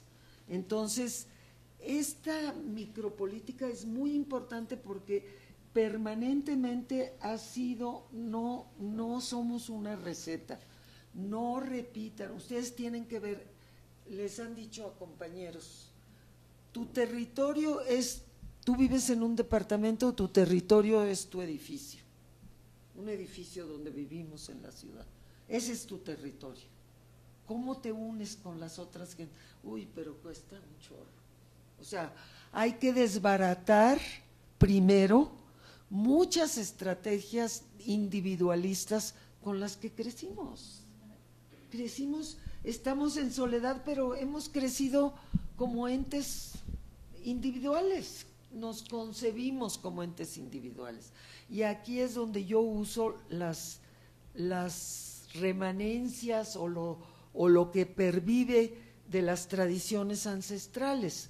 En las tradiciones ancestrales, de lo que yo estudié 20 años etnohistóricamente, leí muchos documentos, todas las narraciones de los cronistas, de los soldados, de los conquistadores, y entonces uno veía que había una parte de la identidad de cada ser que era colectiva o sea, era el barrio, era parte de mi identidad.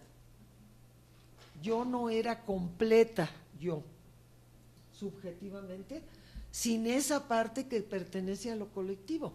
Entonces, eso en los pueblos, pues lo revives, lo revives así. Pero ¿cómo lo creas con nosotros, por Dios? Digo, yo lo puedo decir por mí misma, o sea, la verdad, qué difícil es si lo crean a uno con ese concepto de individuo. Es muy difícil.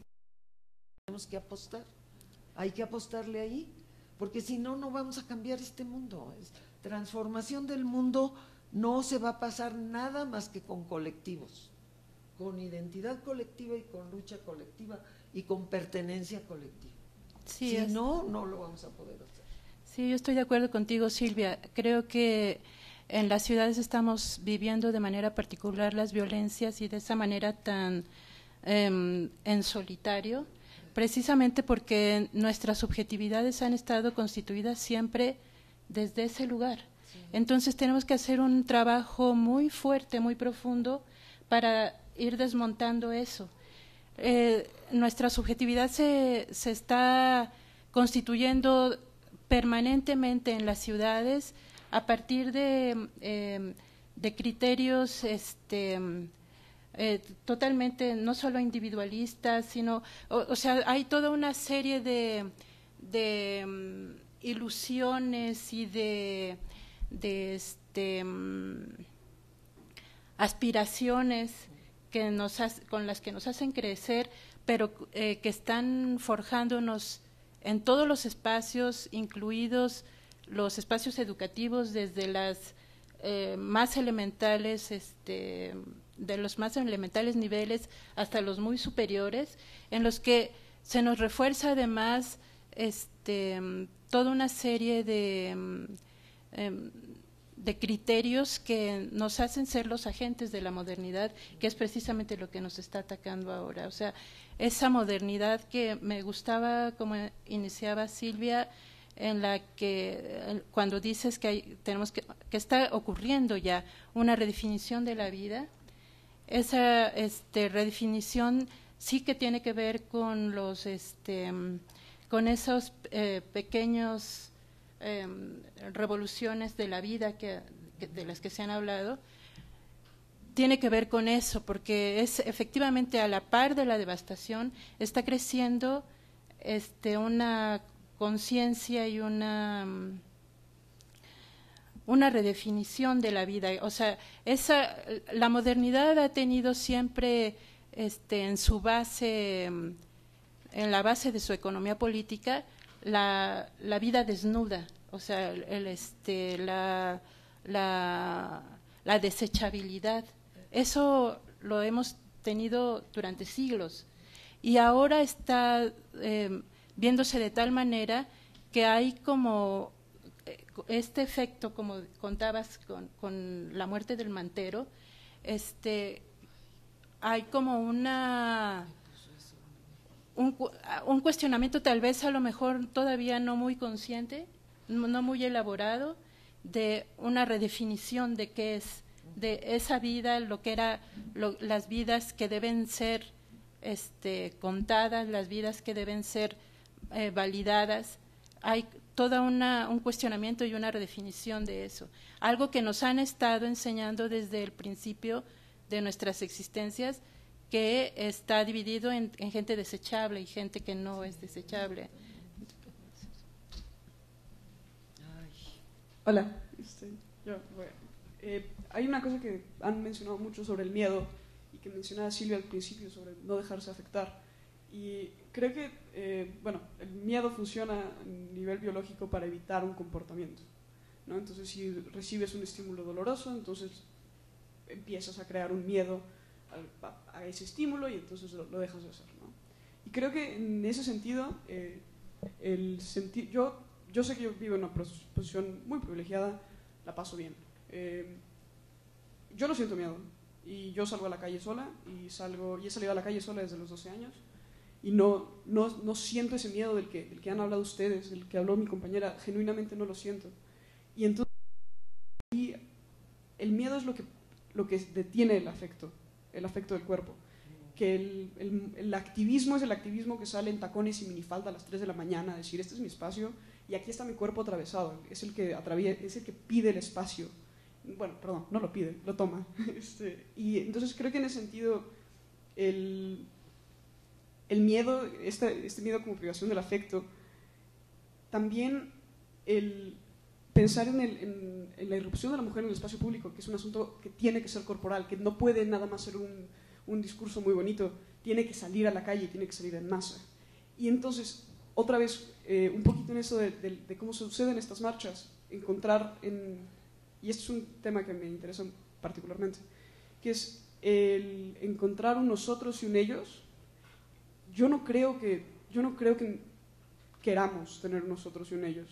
Yo entiendo que para la conformación de la, de la identidad necesitamos un nosotros y un ellos, pero yo no creo que tengamos que construir un feminismo a partir de una política de la identidad, que termina siendo totalmente destructiva. Hemos visto los, los desastres que, se han, que, han sucedido en, en todo el mundo con políticas de la identidad que justo lo que hacen es crear un nosotros y un ellos. Entonces, las mujeres en las ciudades que tenemos una identidad, sí, individual, ¿en dónde encontramos el nosotros y el ellos? Bueno, es que esta es mi ciudad. ¿no? Entonces, ¿cuál es mi territorio? Pues mi cuadra. Y, y, en esa cuadra habitan hombres que me protegen a mí y que me han protegido desde, desde chica, que me seguían, me, me, bajé un día de un pecero y me estaba siguiendo un cuate. Y entonces yo dije, hijo, ya, ¿no? Entré, así puse un pie en mi cuadra y salieron mis vecinos con un bata a preguntarme que si me estaban molestando. Entonces hay, hay mecanismos de protección que son comunitarios, pero que no son necesariamente identitarios. Y creo que hay, hay que separar el comunitarismo del de lo identitario. Que sí, tu comunidad te determina definitivamente, pero no es, no es para crear nosotros y un ellos, porque eso nada más empuja, eh, imposibilita el discurso al final. Entonces sí como quería hacer esa eh, esos dos puntitos nada Yo estoy completamente de acuerdo contigo. Y yo creo que el crear esa comunidad no tiene que ver con la identidad. Esa comunidad la crea, compartes el territorio. Estás en un... Eh, y eso es lo que nos han tratado de enseñar los zapatistas. O sea, si te dicen tu territorio es tu edificio donde vives, ¿qué te están diciendo? Pues a lo mejor viven gentes de muchos lados no tienes una identidad más que compartes el territorio. Eso es lo que es importante, compartir el territorio. Que pues sí, un edificio pues no es territorio como, como poder sembrar maíz y frijol y todo eso. Pues es un territorio urbano, pero es territorio, es el que tienes. Ahí ves este esto que tú mencionas es algo que es muy típico de México y que voy a decirlo, yo he vivido en muchos países. La verdad, esa cohesión mexicana no la he vivido en otros lados. Eso es muy de nosotros. Y yo creo que es muy de nosotros por las tradiciones estas tan fuertes indígenas de donde provenimos. Provenimos por abuelos o por no sé qué. Es increíble. Yo ahora tengo ganas de hacer un estudio nada más sobre la gente.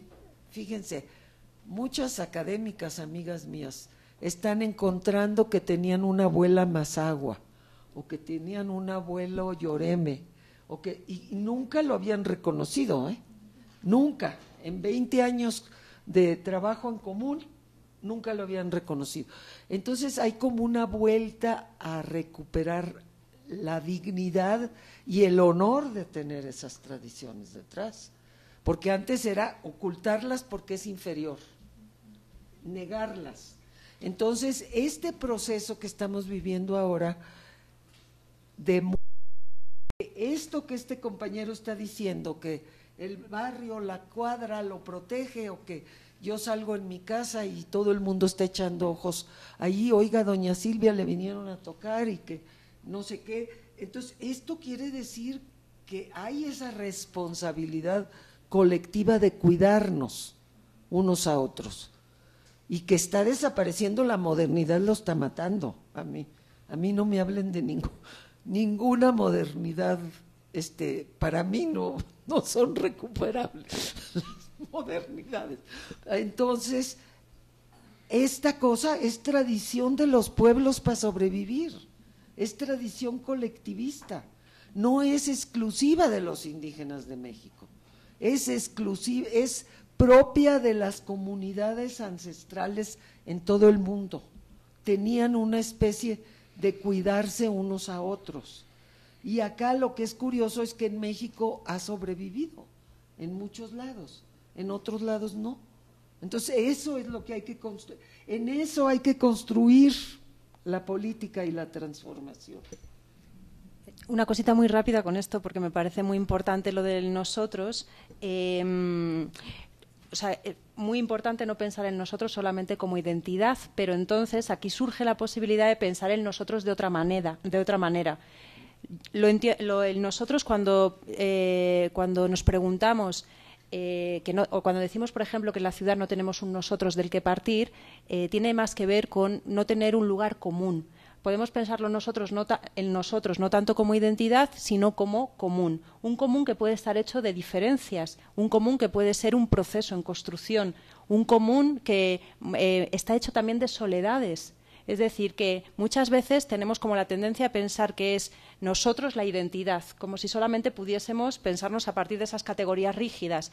Yo diría que aquí una clave muy importante es pensar en nosotros ya no como identidad, sino como proceso, como atravesado por las diferencias, como compuesto de soledades y como algo, incluso voy a decir, eh, como la comunidad imposible como una comunidad que nunca se acaba de cerrar completamente, que nunca puede ser una totalidad completamente hecha. Yo creo que eso es además una de las claves fundamentales para que lo común no vuelva a ser un totalitarismo.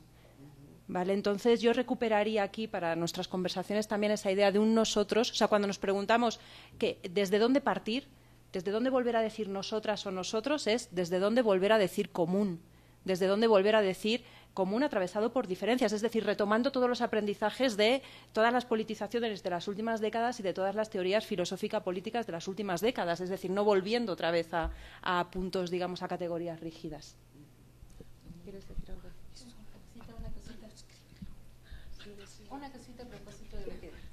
Una cosita a propósito de lo que acaba de decir Silvia. Este, no, pues decir que eh, eso común que nos puede reunir ahora es precisamente la preservación de la vida, porque lo que está más, este, más atacado ahora en, este, en el momento en que estamos es eso, la vida, y la vida tiene que ser pensada como bien común, o sea, no es, no, no es solamente mi vida personal, sino la vida, la vida como bien común, como algo que, que es lo que, lo que compartimos.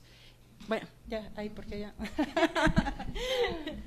sí, Rita quería decir algo. Sí, bueno, este. un poco a, raíz de la intervención de Claudia, yo voy a, cambiar un poco la idea del miedo por la idea de la tristeza. Y tú lo has dicho ahora, ¿no? ¿Qué, hacemos con la tristeza? O más bien, ¿qué, qué hacer a través de la tristeza? Eh, algo más que simplemente soportarla. Y a mí me ha encantado tu conversación del día de hoy. Te agradezco infinitamente que hayas hecho el esfuerzo de venir desde Morelos porque me ha encantado cuando has hablado de tu, de tu biografía un poco, ¿no? De tu biografía intelectual. Y has mencionado que tuviste un encuentro casual y que ese encuentro casual se convirtió en la tarea de tu vida, que era ve y escribe sobre las mujeres zapatistas. Y entonces me parece muy interesante porque em, este acto que estamos intentando hacer aquí, el acto de pensar, el acto de teorizar, creo que si no va acompañada con un testimonio como el tuyo, en donde hay encuentros casuales, donde vamos y luchamos, a veces en soledad, a veces en colectivo, pero finalmente estamos luchando. Eh, me parece que, es una forma de, saber hacer con la tristeza, ¿no? y entonces en este sentido los espacios como este se convierten en espacios de vitalidad, donde la importancia de conversar es una importancia política y donde, como hablábamos al principio de la tarde, ¿no? cuando estábamos comiendo, no solamente o sea, conversar, pero recuperar la memoria, la memoria a corto plazo de lo que ha sido las luchas, las vidas intelectuales de personas como tú. Así que gracias, gracias Silvia. Déjame decirte algo también, Silvia. sé justo de lo que acabas de decir. Esto que tú, tú llamabas coordenadas epistémicas, tus coordenadas epistémicas, me, te quería también decir que me gustó mucho esta manera en que las vas entretejiendo con tu experiencia personal, con la afectividad y con la teoría. Y yo creo que, que es por ahí por donde tenemos mucho que avanzar, o sea, juntando, todo eso. Bueno, pues yo agradecer a, Silvia, siempre es un gusto escucharla y verla. Yo me llamo Carla, soy geógrafa y estoy en la UAM Xochimilco. Y vivo muy cerca de aquí, por eso me quedan muchos eventos de la Ibero y me gusta mucho venir. Y pues son muchas cosas las que me gustaría compartir, pero tengo que sintetizar. De entrada comparto lo que la compañera dijo y que a las compañeras zapatistas les pasaba todo el tiempo en el encuentro que tuve la fortuna de poder ir, que no sabían si eran chicas o chicos y, ellas decían, una disculpa compañeras, pero no estamos acostumbradas y, tenemos otra visión de la feminidad, así, así lo decían. Y les pasó con cientos de mujeres, ¿eh? o sea, todo el tiempo. Y ellas te preguntaban, ¿tú eres otra, otroa compañera, como te decimos? ¿no? Y es bien bonito que para mí el zapatismo es una luz en mi vida, porque me impactó desde que yo tenía 10 años de edad, cuando fue el levantamiento zapatista, y pues porque mi mamá y mi papá estaban muy metidos en, en el activismo. Y yo crecí en una ONG feminista donde estuvo mi mamá trabajando 30 años y de alguna manera pues estuve, tuve ese privilegio ¿no? de estar cercana al, al feminismo, a su praxis, pero en mi vida cotidiana con la violencia fue conforme me fui haciendo feminista, no por la teoría y no por la espacialidad, sino por, por las violencias que fui encontrando en compañeros. Y pues para mí el zapatismo y, y lo que mi primer acercamiento al zapatismo no lo comprendía porque yo era muy chiquita, pero lo primero que leí fue un texto de Silvia Marcos y fue maravilloso, que hay por ahí está el libro, eh, Diálogos y Diferencias, y, y, hace una crítica a la ONGización del feminismo y esa institucionalización de los movimientos de mujeres que, que pues sí, es muy fuerte y yo ya llevo como cinco o seis ONGs donde he trabajado y me ha decepcionado mucho que muchos, no sé si llamarles activismos de mujeres, terminan más preocupadas por bajar financiamientos y por cumplir los objetivos de los organismos internacionales que por realmente trabajar y hacer un proceso social con las mujeres indígenas y campesinas. me ha decepcionado tanto de eso que dije, no es por ahí, y me he ido a la autogestión. y pues he formado como proyectos con, con, otras geógrafas, una comunidad de geógrafas que se llama Geobrujas, una red de, economía solidaria, sororaria, le decimos, entre mujeres, que es la Lechuza Busa, y me hace más sentido porque es, es como llevar el zapatismo a tu locus, ¿no? a tu propia geografía y a tu propia historia. Y en la ciudad es bien difícil, es bien difícil hacer comunidad, es bien este, esto que ustedes han compartido, que es muy bonito, la preservación de la vida como un bien común. Lo que yo he aprendido con mis amigas de Juan Jimalpa, de Xochimilco, de aquí, de la Ibero, es que la única manera, y en, este, bueno, no es la única, pero una de las maneras que podemos tomar de las compañeras zapatistas es al aprender a escuchar, el dejar las competencias, el no vernos como un nosotras y un ellas, sino un todo, desde esta visión de la complejidad. Es complejo, pero es bonito porque, a ver, crecimos con sexismo, con racismo, con muchas, o sea, con una visión discriminadora en cuestión de clase social y de grupos, ¿no? y de color de la piel. Y es como irte quitando todo eso, ¿no? Y eso es el feminismo, te vas deconstruyendo y te vas quitando todas las etiquetas que te ha puesto la sociedad y el sistema sexogenérico. Y pues no sé, yo no encuentro algo más revolucionario en México en cuestión de feminismo que el zapatismo, aunque ellas no se digan feministas porque también me he decepcionado de las grandes feministas que salen en la televisión y publican mil libros, que digo, de ahí yo rechazaba el feminismo. Yo decía, eso es el feminismo, ay no, gracias. Pero cuando encuentras a todas las ponentes que va a tener este, este seminario, dices, ah, ese sí me gusta, y con ese sí me identifico. Y pues por último decirles que el encuentro de mujeres fue increíble. Y en verdad yo les diría que cuando tengan la oportunidad de visitar un caracol zapatista es, no tengo palabras para describir, es otro mundo. O sea, pueden leer muchas cosas, pero el entrar a un caracol zapatista y ver sus modos de organización y, y, platicar con las mujeres, ver su disciplina, ver, o sea, es, a mí, es, más, creo que ni siquiera tengo la capacidad de realmente comprenderlo, a final de cuentas, ¿no? Pero lo que sí entiendo es que yo creo que acá partiendo de qué podemos hacer en la ciudad, pues primero ver a, través de los muros, más allá de estos muros, y ver que si existe esa ciudad Santa Fe es porque se está generando despojo a sus alrededores. ¿no? Si este espacio, este, este pequeño espacio o esta ciudad esta, va a seguir teniendo agua y recursos y alimentos, es porque todos los pueblos aledaños se los vamos a quitar. Entonces el zapatismo habla de eso, tenemos que empezar a ver a las otras y no solamente a nuestros propios privilegios y comodidades de clase, de género, de muchas cosas. Y pues, no sé, es empezar a hacer un huerto en que eso es muy revolucionario en este momento, cultivar, hacer agroecología, desmedicalizarnos, ¿no? aprender, recuperar los saberes ancestrales de los pueblos y pues eh, la, la, candidata, bueno, Marichuy es, es una gran conocedora de la herbolaria y no por algo la escogieron para ser la vocera, ¿no? Entonces creo que hay muchos, muchas cosas súper bonitas que a mí las sigo estudiando porque, les digo, visitar un caracol, solo conozco Morelia ahora que fue el encuentro de mujeres y, y Oventic. Y ya con eso me siento así, de, es increíble. Pero lo poco que pude platicar con las compañeras zapatistas cuando, por ejemplo, no alcanzaba la comida y llevabas una hora formada para poder comer, yo les decía, ay, qué pena, nos estamos acabando toda su comida. Y me responde una, al contrario, acábensela, nosotras tenemos de sobra, así, ¿no? O luego, por ejemplo, con los baños, ¿no? Que éramos muchas, o sea, 10.000 mujeres, imagínate, de diferentes partes del mundo. O sea, fue impresionante, o sea, ¿verdad? No, yo estaba así como, wow, va a ser increíble estar en...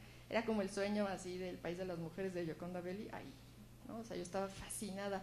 Pero también me sentí como, pues, agobiada en el... De, tanto, o sea, los talleres no cabías en un taller, había talleres donde querías tomar un taller sobre herbolaria femenina y éramos 100 mujeres, ¿no? Entonces, pues, no había forma, pero fue, o sea, creo que el reto es que llevemos estas, estas filosofías de vida a nuestra propia historia geográfica, con nuestras propias redes. Hay otras formas de hacer comunidad, entonces, pues, si pueden visitar un caracol, háganlo, así no lo desaprovechen. Y muchas gracias. Muchas Allá había un. No, no, no te oímos. Ah, no tiene pila. No,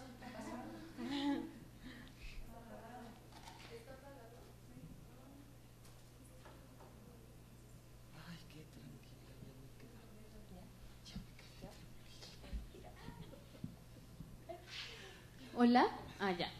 Eh, mi nombre es Anaid, soy politóloga, bueno, estudié ciencia política en la UNAM y quisiera, ah, tengo un comentario y una pregunta. Un- el comentario es que justo el tema del anticapitalismo eh, en torno al encuentro de mujeres que luchan me pareció muy importante, no solamente porque sí mu- muchas feministas que iban no, no todas compartían estas ideas capi- anticapitalistas, sino que además las que nos, nos sentimos o nos decimos o nos acercamos al anticapitalismo y al antineoliberalismo, nos cuestionamos un montón de cosas a partir de si desde el feminismo, qué acciones estamos haciendo que realmente sean anticapitalistas o que estén abonando a la, no solo a la destrucción, sino al des- desmantelamiento del capitalismo, ¿no? Entonces, ya había tenido como pláticas previas con varias feministas y decimos, bueno,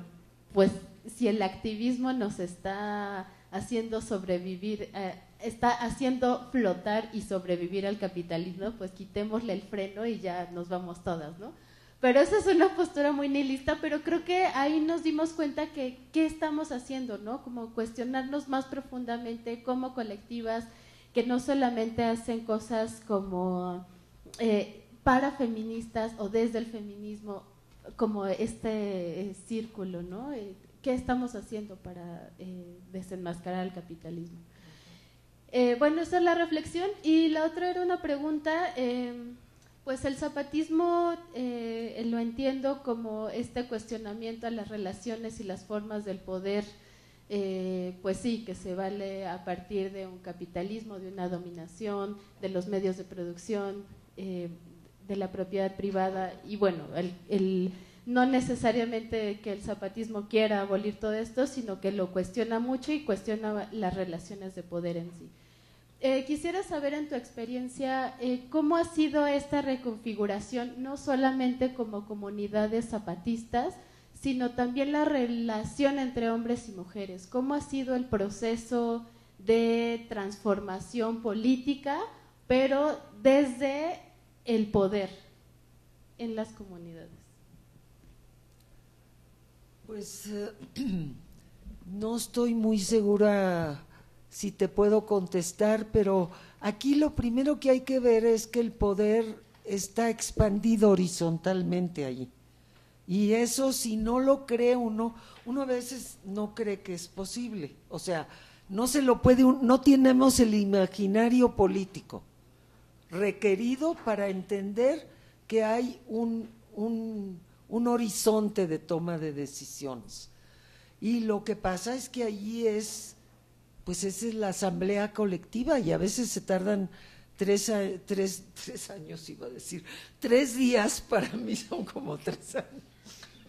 Pero se tardan tres días en tomar una decisión. ¿Por qué? Porque están insistiendo en que sea colectivo. Ahora, los colectivos, las tomas de... También yo ya me he puesto a sistematizar los tipos de consenso. También. Si puede, con el tiempo te vas dando que hay varias de hacer un consenso. No es siempre el mismo. Nosotras que somos académicas, luego, luego, este, empezamos a notar como, como Silvia ahorita hizo con su lista perfecta. O sea, yo veo que hay varias formas de tomar el consenso, pero de que se toma el consenso, se toma el consenso. Y de que tarda, pues tarda a veces más. Ahorita las zapatistas se quejaron que se tardaron seis meses para decidir hacer este evento. ¿Por qué? Porque tenían que estar de acuerdo en consenso todas. Entonces ahí hay que tomar en cuenta que provienen de pueblos indígenas que fueron dominados y sujetados. Ellas, ellas y ellos siempre hablan del tiempo de los finqueros. Es su pasado inmediato, las fincas, las fincas cafetaleras, las, las fincas de, de ganado, las fincas. Y en las fincas eran viles esclavos, tanto los hombres como las mujeres. Es- tenían la- lo peor de la esclavitud de las mujeres, eh, bueno, para mí, ¿verdad? Era el derecho de pernada. Eso yo lo oí en los setentas. Tenía derecho el, el, el finquero a, tener sexo con la, digo para no decirlo de una manera más brutal, pero pues era para violar a todas las jovencitas, era como su derecho de pernada, así se llamaba. Y estaba vigente en los setentas del año del siglo pasado. Estaba vigente y no dudo que ahorita en ciertos lugares siga vigente. O sea que estás hablando de un pasado sumamente patriarcal, virulentamente imperial, pudiéramos decir, de un dominio absoluto del varón sobre la mujer. Y sobre la mujer indígena, pues era casi basura. Entonces era, entonces la comandanta Miriam, ¿sabes de qué habla? Esa me encanta, esa mujer, ya la he oído varias veces. Y ya cogió su, su término, el patroncito en la casa. ¿Por qué? Porque el hombre venía a reproducir lo que hacía el patrón en la finca con su mujer en la casa. ¿Y por qué venía a reproducir el, el, el varón indígena o el indio, como se le decía antes, ¿por qué venía a reproducir al patroncito en la casa? Porque esas son las conductas de los que tienen poder, son las conductas de los que pueden decidir, son las conductas de los que tienen dinero y lógicamente si hablas de la dinámica del oprimido, hay mil estudios psicológicos de la dinámica de los oprimidos. Y los oprimidos, los que han sido oprimidos, oprimen más adelante, reproducen con poquísimas excepciones, con poquísimas excepciones. ¿Por qué? Porque quieren estar bien y reproducen la dinámica que viene, que lo friegan a él y él friega más adelante. La violencia así es como se pasa. Entonces, ese es el tipo de poder interno con el que estamos lidiando. Y ellas cada vez que hablan de esa dinámica de los finqueros, siempre se refieren a eso. Y siempre se refieren a que había el patroncito en la casa. Y entonces que su organización, siempre dicen, gracias porque cuando llegó nuestra organización rompió eso, rompió ese, esa dinámica y pues ha se ha batallado, no creas que ya se logró. Siempre dicen falta lo que falta, o sea, tampoco están idealizando todo lo que pasa adentro, pero hay que tomar en cuenta que el modelo de donde emergieron estos pueblos era el modelo peor nunca hemos tenido nosotras en las ciudades, nosotras de clase media, pues es un patriarcado medio, medio mocho, medio moralista, medio, sobre todo aquí en los ambientes católicos, o sea, es un, es un ambiente patriarcal, digamos, moderado en comparación a lo que tuvieron que sufrir estas poblaciones indígenas en las fincas. O sea, allí era, era esclavitud, esclavitud, y esclavitud patriarcal, totalmente, fundada en el macho. Entonces, este, esta organización que, como ellas dicen, es que es la, nuestra, siempre dicen nuestra organización, nuestra organización vino a cambiar esto. Yo recuerdo de las transcripciones que he recomendado mucho que lean de, la revista Rebeldía, y la revista Rebeldía la pueden conseguir números atrasados en el Rincón Zapatista. Ahí se venden todavía, ahí hay todavía. Yo recuerdo haber leído una transcripción de, un, de la comandanta Susana, que era la compañera de la comandanta Ramona. Ellas fueron de las meras, meras primeras mujeres que empezaron a venir con la comandanta Erika, con la insurgenta Erika, a estas formaciones políticas, esta plática política que hacían en la noche, noche, noche, porque empezaron así clandestinamente. Entonces yo recuerdo a la comandanta Susana decir, de contar, narrar que había un compañero que le preguntaba, ¿y ustedes por qué no ustedes tienen que reclamar, ustedes como mujeres, tienen que rec reclamen su situación, miren cómo las tratan, miren cómo viven. Entonces, a mí ese dato me ha dejado con algo que todavía traigo hasta el tiempo contemporáneo, es que esta organización zapatista, desde sus meros inicios, a diferencia de las guerrillas salvadoreña, nicaragüense y guatemalteca, que la verdad yo las apreciaba porque pues era, estaba con ellas, estuve con, con una completamente este, parte de ella, había un machismo terrorífico internamente en las relaciones. El zapatismo viene a romper eso. No sé por qué, no sé cómo, no, no, no entiendo, quizá eran los tiempos que ya tenían que variar, quizá era el contexto que ya exigía tomar en cuenta a las mujeres, que ya exigía remover los abusos específicos hacia las mujeres. Yo no sé de dónde, pero esto emergió con el zapatismo. Yo me acuerdo cuando emergió el zapatismo no, no había presencia de las mujeres en estas luchas. Digo, estaban ahí como luchadoras con, con fusil, pero estaban sujetas al orden masculino, de todo a todo.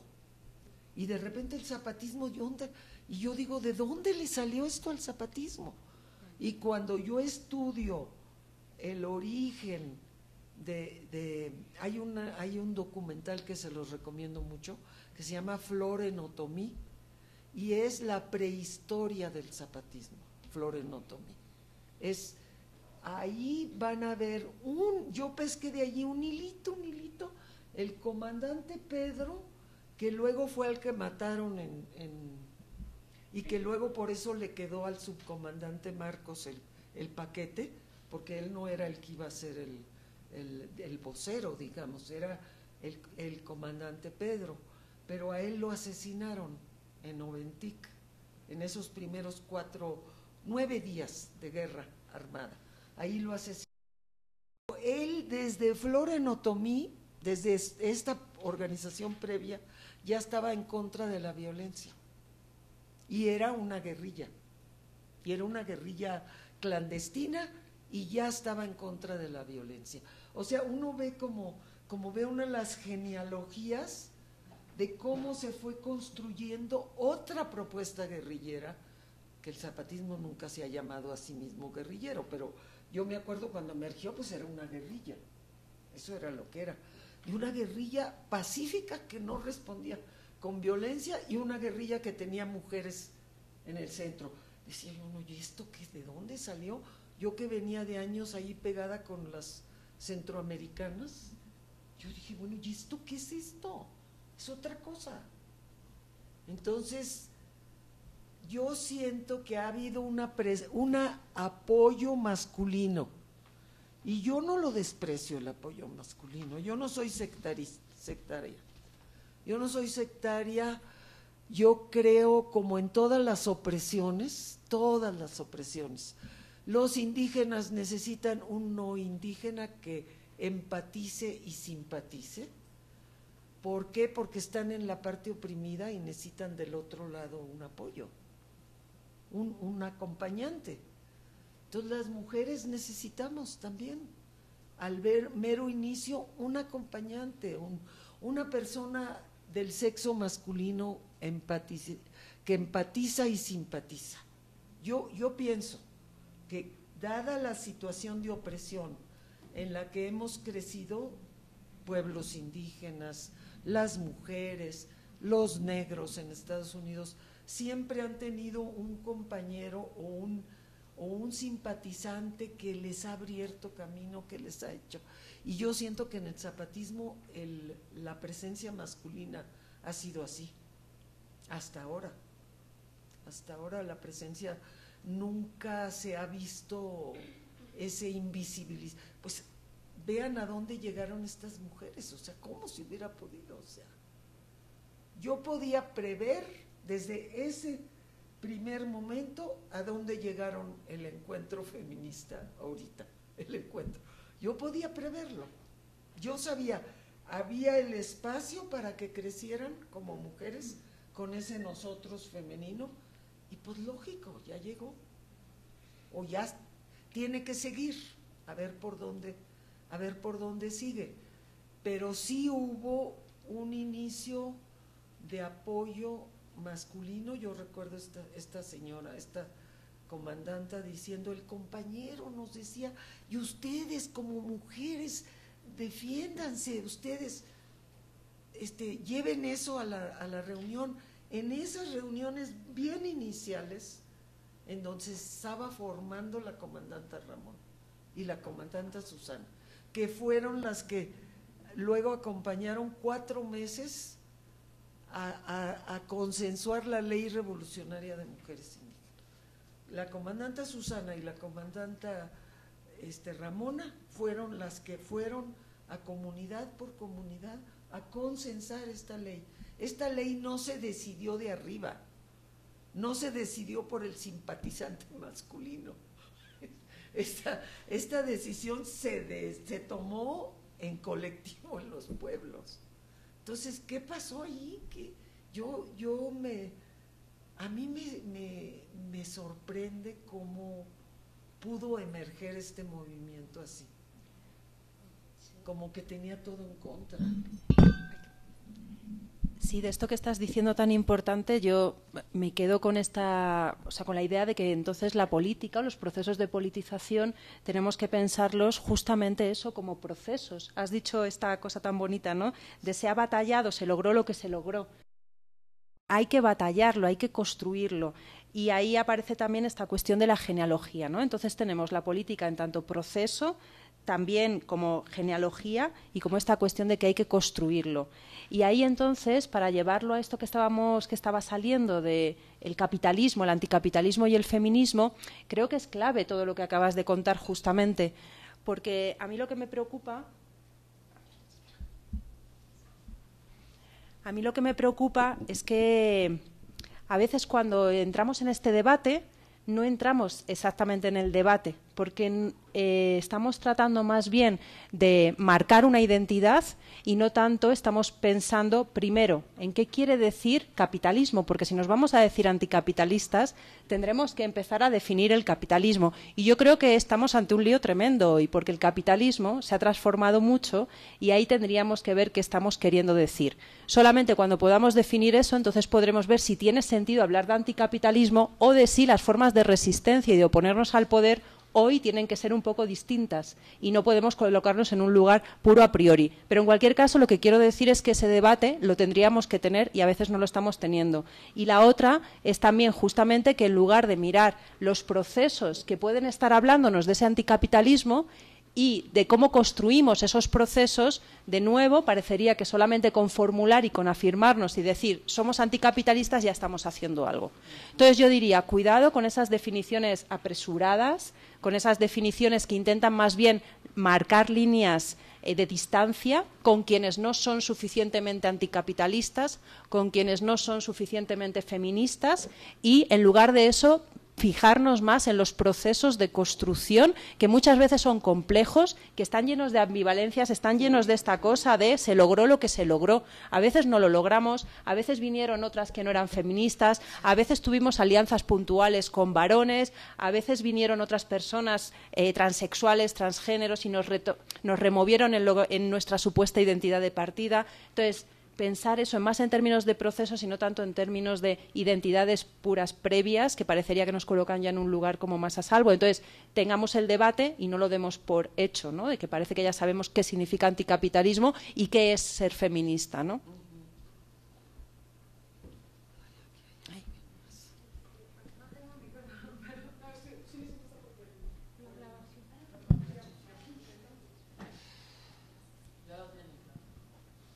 Hola, ¿qué tal?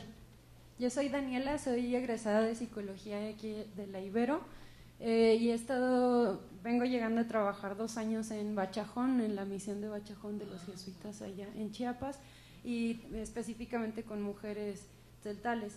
Este, no me consta, pero me atrevo a, a decir que en otros grupos indígenas que no han sido tan tocados por el zapatismo, el movimiento, este, no hay tanta conciencia de, de, estos feminismos que, que, estamos platicando acá, ¿no? Un poquito por lo que me tocó ver a mí allá. No hay como este diálogo presente en el trabajo. Este, en ese sentido les quería compartir que una vez yo estaba platicando con las señoras y queriendo no ser etnocentrista y al mismo tiempo eh, pues dialogar ¿no? Problematizar como algunas situaciones que había en la comunidad, les preguntaba yo que por qué en las fiestas siempre se les sirve la comida primero a los hombres, porque siempre tienen que pasar eh, los hombres primero a comer y ya después comen las mujeres, ¿no? Y entonces primero se reían las señoras y les daba pena contestar y tal, pero al final una de ellas me dijo, es que así es nuestra costumbre. Entonces este, a mí eso me conflictó mucho y un poco mi pregunta sería, Silvia, en, tu experiencia o, tu opinión, ¿cómo ponemos en, cómo conciliamos el feminismo o, un feminismo, algún feminismo, con eh, la, la, indígena, ¿no? O sea, no se corre riesgo también de que algunas formas de feminismo puedan desintegrar la identidad de las mujeres indígenas al problematizarla. Este, y en ese sentido, entonces, ¿cuál tendría que ser el, feminismo indicado o el, feminismo como ideal para trabajar con, con pueblos indígenas? ¿no? Este, ¿Y, qué, qué, tienen que hacer o cómo se, se eh, desmenuza eso en el rol de las organizaciones sociales o de las universidades que trabajan en ese sentido. Pues es muy curioso que hables de Bachajón. Yo tengo a Bachajón muy, muy este, identificada con los jesuitas, ¿verdad? Los jesuitas tienen un, un proyecto allá o ya no. Sí, es un proyecto de, de los jesuitas allá. Había un, un señor que yo quería mucho, que yo creo que ya murió porque era viejito, viejito. Era eh, Eugenio Maurer. Todavía vive. Híjole, si lo ves, dámele un abrazo. Porque Eugenio Maurer tuvo la honestidad y la radicalidad de que una vez quise yo una presentación sobre teología india y dije que en el catolicismo el credo no era negociable, o sea que lo único que se queda en la teología india, lo único que no se toca en la teología india es lo que dice el credo. Si ustedes son católicos o católicas, pues ya se han de acordar todo lo que dice el credo. Yo no me lo sé y a mí ya se me olvidó. Pero, pero yo dije eso en público y Eugenio estaba oyéndome, estaba en el, en el auditorio. Y Eugenio levantó la mano y dijo, sí es negociable el, credo. El credo también es negociable.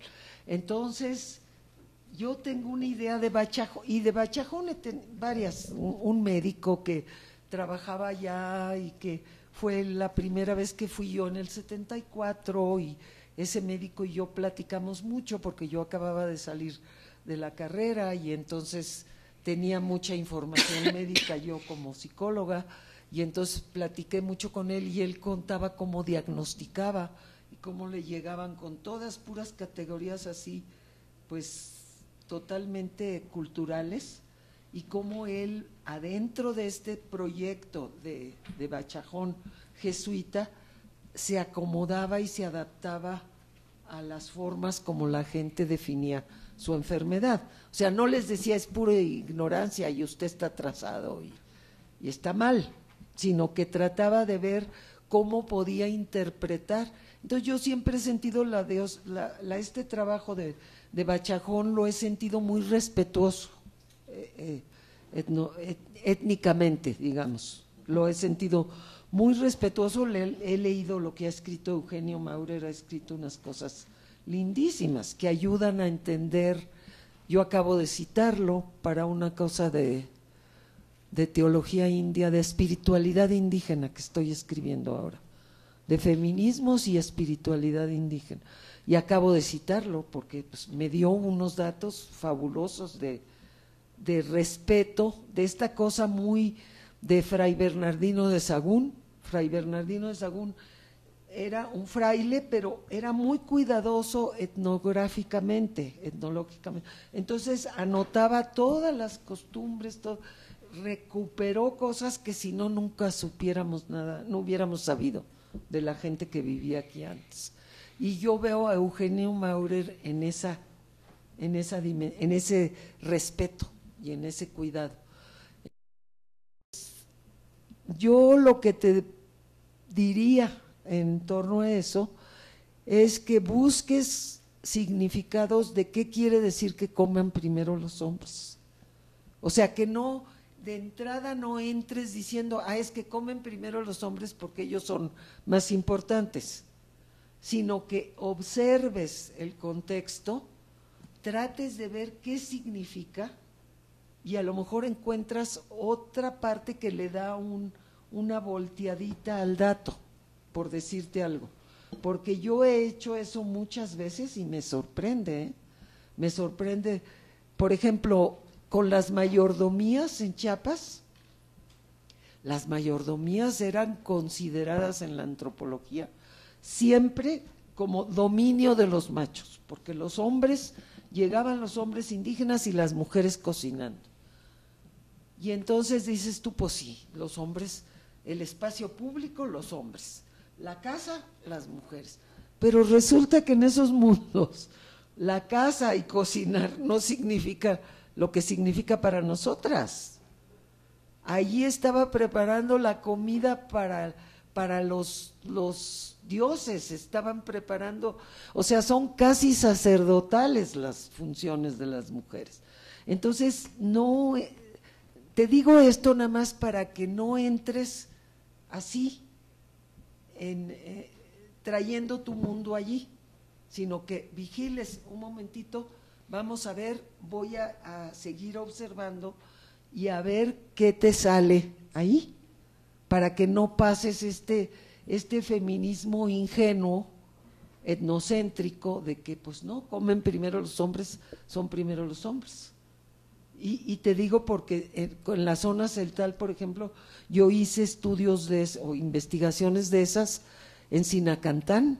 Entonces me di cuenta que en las fiestas, pues estas fiestas, pues sí, los hombres van y vienen y suben y bajan, pero las mujeres suben y bajan con la comida y la comida era lo principal. Y el maíz, imagínate, el maíz es considerado un dios simbólicamente tiene características de sagrado.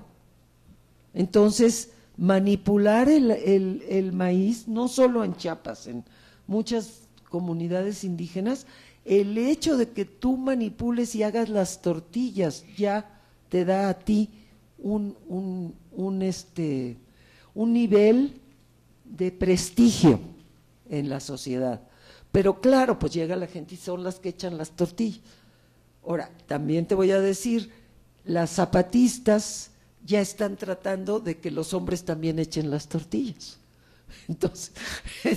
Entonces, digo, te digo esto para que veas el proceso. Hay un proceso simbólico, un origen simbólico sagrado que le da otro lugar a la mujer diferente, que no inferior, y luego está el proceso zapatista que empieza a igualizar y que dice, ah, los hombres cuando voltean la tortilla en el comal se queman los dedos. Eso nos decía Eloísa en la escuelita. Y entonces 300 intelectuales que había allí, estábamos todos los personajes que se puedan imaginar ahí en esa sesión de la escuelita. Uy, se hizo un barullo, pero porque a todos les tocó. Como una indígena de 17 años dice con esa seguridad, que los hombres cuando voltean la tortilla en el comal se queman los dedos. Ah, entonces que es, que es de veras que lo están haciendo las zapatistas. Y acá ellos, ¿cuántos se queman los dedos? O sea, los que estábamos allí en el auditorio, puros profesores universitarios, pues quién sabe qué hacían en sus casas, yo creo que. Entonces se pusieron todos así Entonces, pero te digo eso para que veas el proceso, ¿ves? O sea, yo no estoy diciendo que se queden enquistadas en que en el tiempo simbólico quería decir que la comida era muy importante, pero sí es importante que tú tengas esa posibilidad de evaluar qué pasa ahí, qué pasa, qué quiere decir ahora en el tiempo contemporáneo, qué quiere decir para ellas, se sienten humilladas, se sienten eh, dejadas de lado, de segundo lugar, o, qué, o, o sienten que así debe de ser, o qué, sin traer tu anteojo urbano de clase media.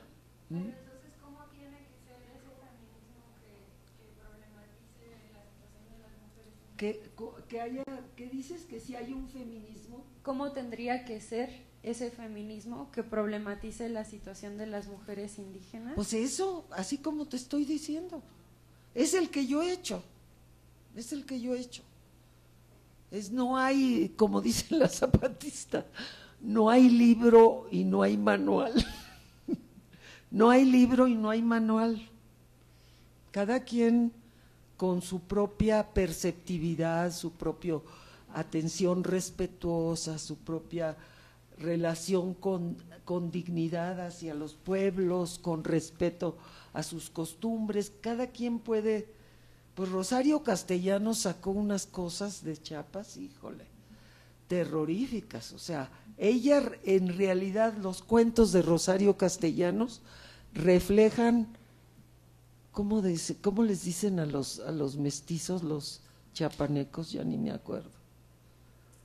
Bueno, tienen un término para los mestizos.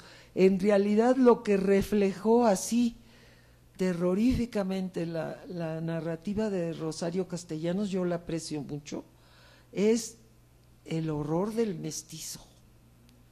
La, los valores del mestizo enquistado sobre los indígenas en esa zona. Es una cosa totalmente estrujante leerla, porque ella lo sentía. Ella, uno puede darse cuenta en su, en su literatura que a ella le dolía, le, le dolía esa situación, pero ella pertenecía allí y ahí estaba, no se podía salir.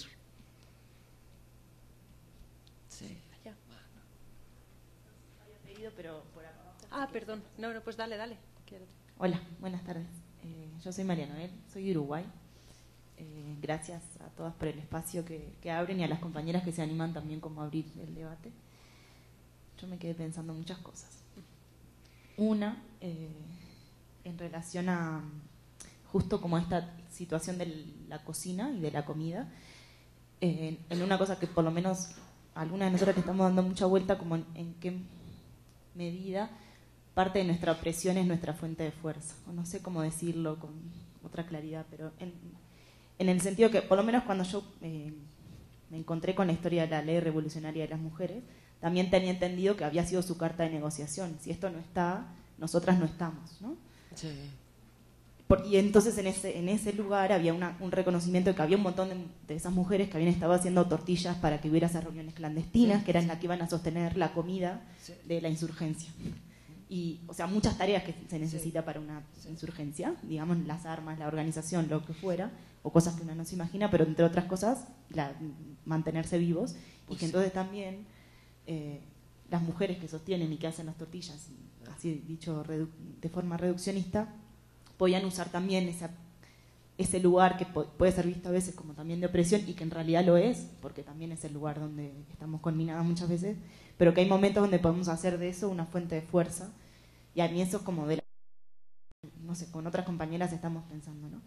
Y, lo pienso siempre haciendo estos puentes porque las zapatistas para nosotras siempre han sido fuente de fuerza, como en esa noción más como de las feministas italianas, de donde una se siente con fuerza para luchar. Y, parte como de ese enlace de la ley revolucionaria de las mujeres, a mí me hace más sentido desde mi lugar de mujer urbana, en, en, ese Uruguay del Cono Sur que desconoce más su tradición indígena, además, de que la tiene mucho menos permeada con el paro del, del, 8 de marzo este y del año anterior. que tiene que ver con decir también en las cosas que nos oprimen y que tiene que ver con este lugar de la casa, es donde nosotras tenemos fuerza y nosotras ahí también podemos decir basta Ajá. para un montón de cosas. Y a la vez, como forma de, de fuerza y de lucha, también es la forma de reconocer las otras cosas que están ahí, que, que como una tensión fuerte con el feminismo de que en todo eso siempre vio pura opresión y que también nosotras sostenemos la vida, en- románticamente, pero con todo lo que eso supone, podemos hacer de eso como una, cuestión revolucionaria, anticapitalista, como le queramos llamar, y que, muchas veces la izquierda ha desconocido todo eso, y a mí me parece que eso es de las cosas que más me han conectado como con el zapatismo. Así, ideas que tengo así de todo lo que han dicho. Y otra, en esa misma línea, tiene que ver con lo de la maternidad. Y ahí va como una pregunta también, porque es otra de las cosas que tiene que ver con esos debates finos y difíciles del feminismo en relación a la maternidad como presión y etcétera. Pero una vez en un espacio así que eh, unas compañeras indígenas fue como, es que nosotras cuando tenemos hijos estamos sosteniendo nuestra comunidad, digamos, o sea que haya niños significa que va a haber, sigue habiendo, no sé, lo que sea de la etnia que sea, ¿no? Eh, y entonces ahí eh, fue una de esas cosas que la pone a pensar como muy, muy hondo en relación a qué significa también como la maternidad y en todo lo que supone de opresión, pero también en todo lo que supone Sí. como espacio de resistencia. Capaz que los feminismos negros también lo han traído mucho, ¿no? Sí, como sí. en relación a lo que significa mantener vivo, mantenernos nosotros como un nosotros eh, vivos. Y en esa misma línea, y pensando en esa pregunta que hoy ti- tiraba Silvia al inicio, en relación al desacople entre lo que sabemos y lo que podemos, hay algo en relación al miedo que a mí me, da como muchas vueltas, capaz que es una discusión que ahora que va hace un rato, pero, pero que en realidad yo sí tengo miedo y tengo mucho miedo en muchas cosas, y que es una de las cosas que nos cuesta mucho decirnos porque nos acostumbramos a hacernos fuertes, porque si no nos saldríamos a la calle, no estaríamos estudiando, no nos meteríamos en los espacios políticos mixtos, no estaríamos en un montón de lugares, y, en el, y entonces en general desconocemos eso. Y eso está bien porque nos, o bueno, como yo lo pienso, nos permite estar en muchos lugares, pero a veces nos, nos desconecta con nuestro lado frágil que también necesitamos conocer. Eh, en esto que hoy decía la compañera por allá de como eh, la, la forma que tenemos de defendernos cuando tenemos miedo, corremos, gritamos o hacemos cosas y es la forma de defendernos. Y el único espacio que yo pude decir que tenía miedo fue en, en espacios solo de mujeres. Eh, con compañeras donde se teje una cierta confianza y más. Me parece que tiene mucho que ver con, con esto que también se decía de cuando las zapatistas dicen no entran varones y cuando defendemos muchos de los espacios autónomos de mujeres, no en términos de separación de gueto, pero sí como ese espacio también ligado a la fuente de fuerza y ligado a un, a un lugar donde hay un mínimo nivel de libertad que podemos sentir y que es el que necesitamos porque si no no haríamos todas las demás cosas que hacemos no sé, me quedé así como pensando en todas esas cosas. Y capaz que una pregunta que tiene que ver con lo de la maternidad y que tiene que ver con esta cuestión del entre mujeres, o así nosotras lo estamos pensando, y con la genealogía que también se estaba mencionando, de cómo has visto tú eh, la transmisión de, de esta experiencia de lucha de las mujeres zapatistas entre las que ahora ya son madres y abuelas, o quién sabe qué más, con las hijas y las hermanas y las nietas, y si hay algo específico o, o presupongo yo una cierta revalorización de ese transmitirse cosas solo entre mujeres. Así como hay espacios que solo son de, mujeres, hay cosas que presiento que se pueden decir en esta transmisión de, de herencia de lucha que puede estar ahí o que tiene un... No sé si hay algo particular para contarnos de eso. No sé si se entiende. Mi... Pues eh, en respecto a eso, lo que yo veo es esta generación de muchachas de 16, 17 años impresionante, porque se paran y hablan con una seguridad que yo, yo quisiera tener, esa seguridad para hablar en público. Y se paran y hablan en un auditorio de dos mil gentes ahí en el CIDESI, puros intelectuales, y son muchachitas indígenas, o sea, digo yo, ¿qué les pasó? esta- ¿Cómo crecieron estas mujeres? O sea, ahí no necesitas, ¿cómo te diré? Ahí ya está la comprobación de lo que ha sido el zapatismo. No necesitas si crees o no crees, nada más ve las chavas jóvenes. Velas como, yo me acuerdo cuando estuve en La Garrucha, en el primer eh, encuentro de mujeres, se llamaba el encuentro Comandanta Ramona con Mujeres del Mundo, en el 2007, en La Garrucha. Y también fue ahí, me acuerdo la señora que abrió el evento, dijo, aquí solo mujeres. Y entonces pues se tenían que ir los... Y, había unos carteles que decía, aquí no puede el hombre ser traductor, vocero, ahí hasta el sub lo tenían, porque el vocero era el sub. Entonces, aquí no puede ningún hombre este, ser vocero, traductor, intérprete, no sé qué más, ponente o no sé, algo así. Era un, un cartel muy de ellas. Y entonces dice la, la compañera esta, y aquel, aquel compañero que está ya escondido detrás de un biombo, haga el favor de salir. Y todo el mundo, dos mil mujeres en el auditorio, nos moríamos de risa como en ese entonces, pues 2007, como que pues estaba raro, ¿no? Que hubiera, que las zapatistas se portaran así, que sacaran a un, a un compañero de, que estaba sacando algo, era, era técnico de la fotografía o del video. Entonces, yo me acuerdo que allí había una niñita, me acuerdo una niñita, que me veía y me quería platicar. Y hablaba y me hablaba y me hablaba y me hablaba en celtal. Y yo la veía y yo quería hablar con ella, pero ella me quería hablar a mí, algo me quería decir. O sea que yo ya ahí, en esa niña de cinco años, yo ya pude empezar a notar el cambio. Había unas señoras grandes que se quejaban del tiempo, todavía del tiempo de los finqueros y que eh, trabajaban como esclavas y que se levantaban a las tres y que preparaban el café y todo eso que de lo que se quejaban mucho. Y luego había unas más, más jóvenes que decían desde que llegó nuestra organización ya nosotras estamos pero esa niña ya era la Eloísa de, del 2013. Ya era una Eloísa. Pero desde entonces ya estaba chiquita, no me tenía miedo, no se reía.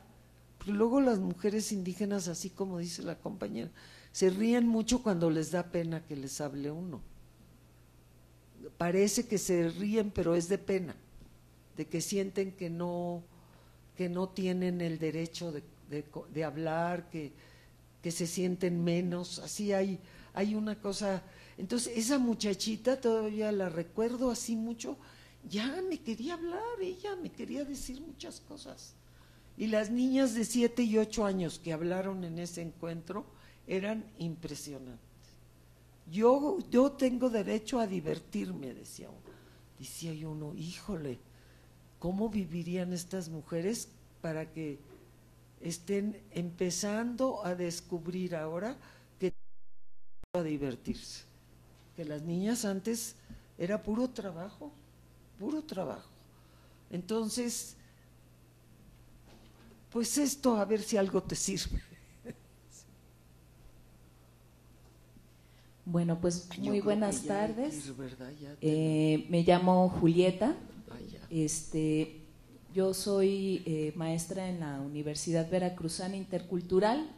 Yo nací aquí en el DF, pero soy este, veracruzana ya por, por convicción y, por amor a, la tierra allá del sur de Veracruz. Y, bueno, pues este, agradecer este espacio. La verdad es que estoy muy, muy emocionada por escucharlas a todas, a, Silvia, que he seguido pues este esta escritura de la, o bueno, el, que has podido plasmar en tus libros la palabra de las mujeres zapatistas, que es algo este, increíble. Eh, yo también pude estar, tuve el privilegio de estar en este encuentro de mujeres que, bueno, fue espectacular en muchos sentidos, con una generosidad, un amor, una energía increíble y me ha llenado de mucha esperanza para y con la certeza de que debemos defender estos espacios de mujeres, definitivamente. Y bueno, pues eh, algo que a mí me ha, bueno, trabajando también con, mis compañeras allá en el sur de Veracruz, tenemos un eh, colectivo que es el proceso de articulación de la Sierra de Santa Marta. También pertenecemos este, al Consejo Nacional, al Congreso Nacional Indígena y, y también tenemos compañeras participando en el Consejo Indígena de Gobierno. Y, pero ha sido una lucha este, inspirada, sí, en nuestras compañeras zapatistas, varias hemos participado en, la, en las escuelitas zapatistas, que ha sido pues, eh, pues todo una enseñanza de amor y sobre todo de esperanza. Sin embargo, creo que este, estamos contra esta lucha. Eh, ahorita mencionaban cómo el capitalismo, el neoliberalismo, se expresa en las comunidades este, indígenas. Eh, yo lo veo mucho con las políticas públicas, los programas asistencialistas, cuando platicamos las compañeras y, reflexionamos sobre las diferentes formas en que el capitalismo ha este, de alguna manera quitado esta autonomía es con estos programas, ¿no? O sea, como el, volverse dependientes a, el Prospera que llega cada mes, este, tener que ir a firmar y no estar, este, o sea, que, son sus tiempos, sus espacios, pues los, eh, los tienen súper restringidos con estos programas, este, y que antes sembraban y cosechaban todo lo que tenían para comer y ahora pues ya nada más esperan el Prospera para, ir a comprar pues, lo que necesitan, ¿no? Entonces, ¿cómo lograr? Porque yo lo que veo, aparte del miedo y la tristeza, es como la desesperanza.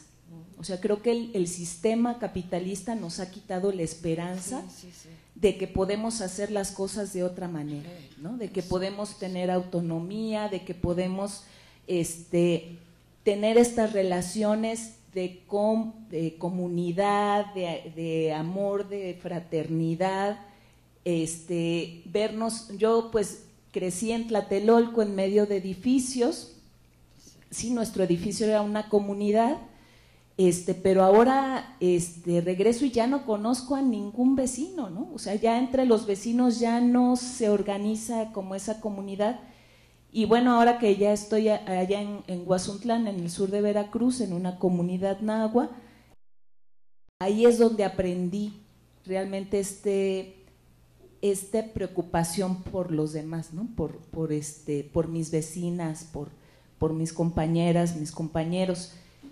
Pero sí creo que nos ha llegado muy hasta el fondo esto de la desesperanza. O sea, cómo hacer para este, y, bueno, pues viendo a los zapatistas es un gran ejemplo de, un ejemplo de vida. Las mujeres zapatistas, ¿no? Este, una compañera, yo estuve en una comunidad, este, en la escuelita zapatista y una compañera tenía 12 hijos de mi edad. Yo decidí no ser mamá. Y me preguntaba mucho, pero ¿por qué no quisiste ser mamá? Y yo le dije, no, pues este,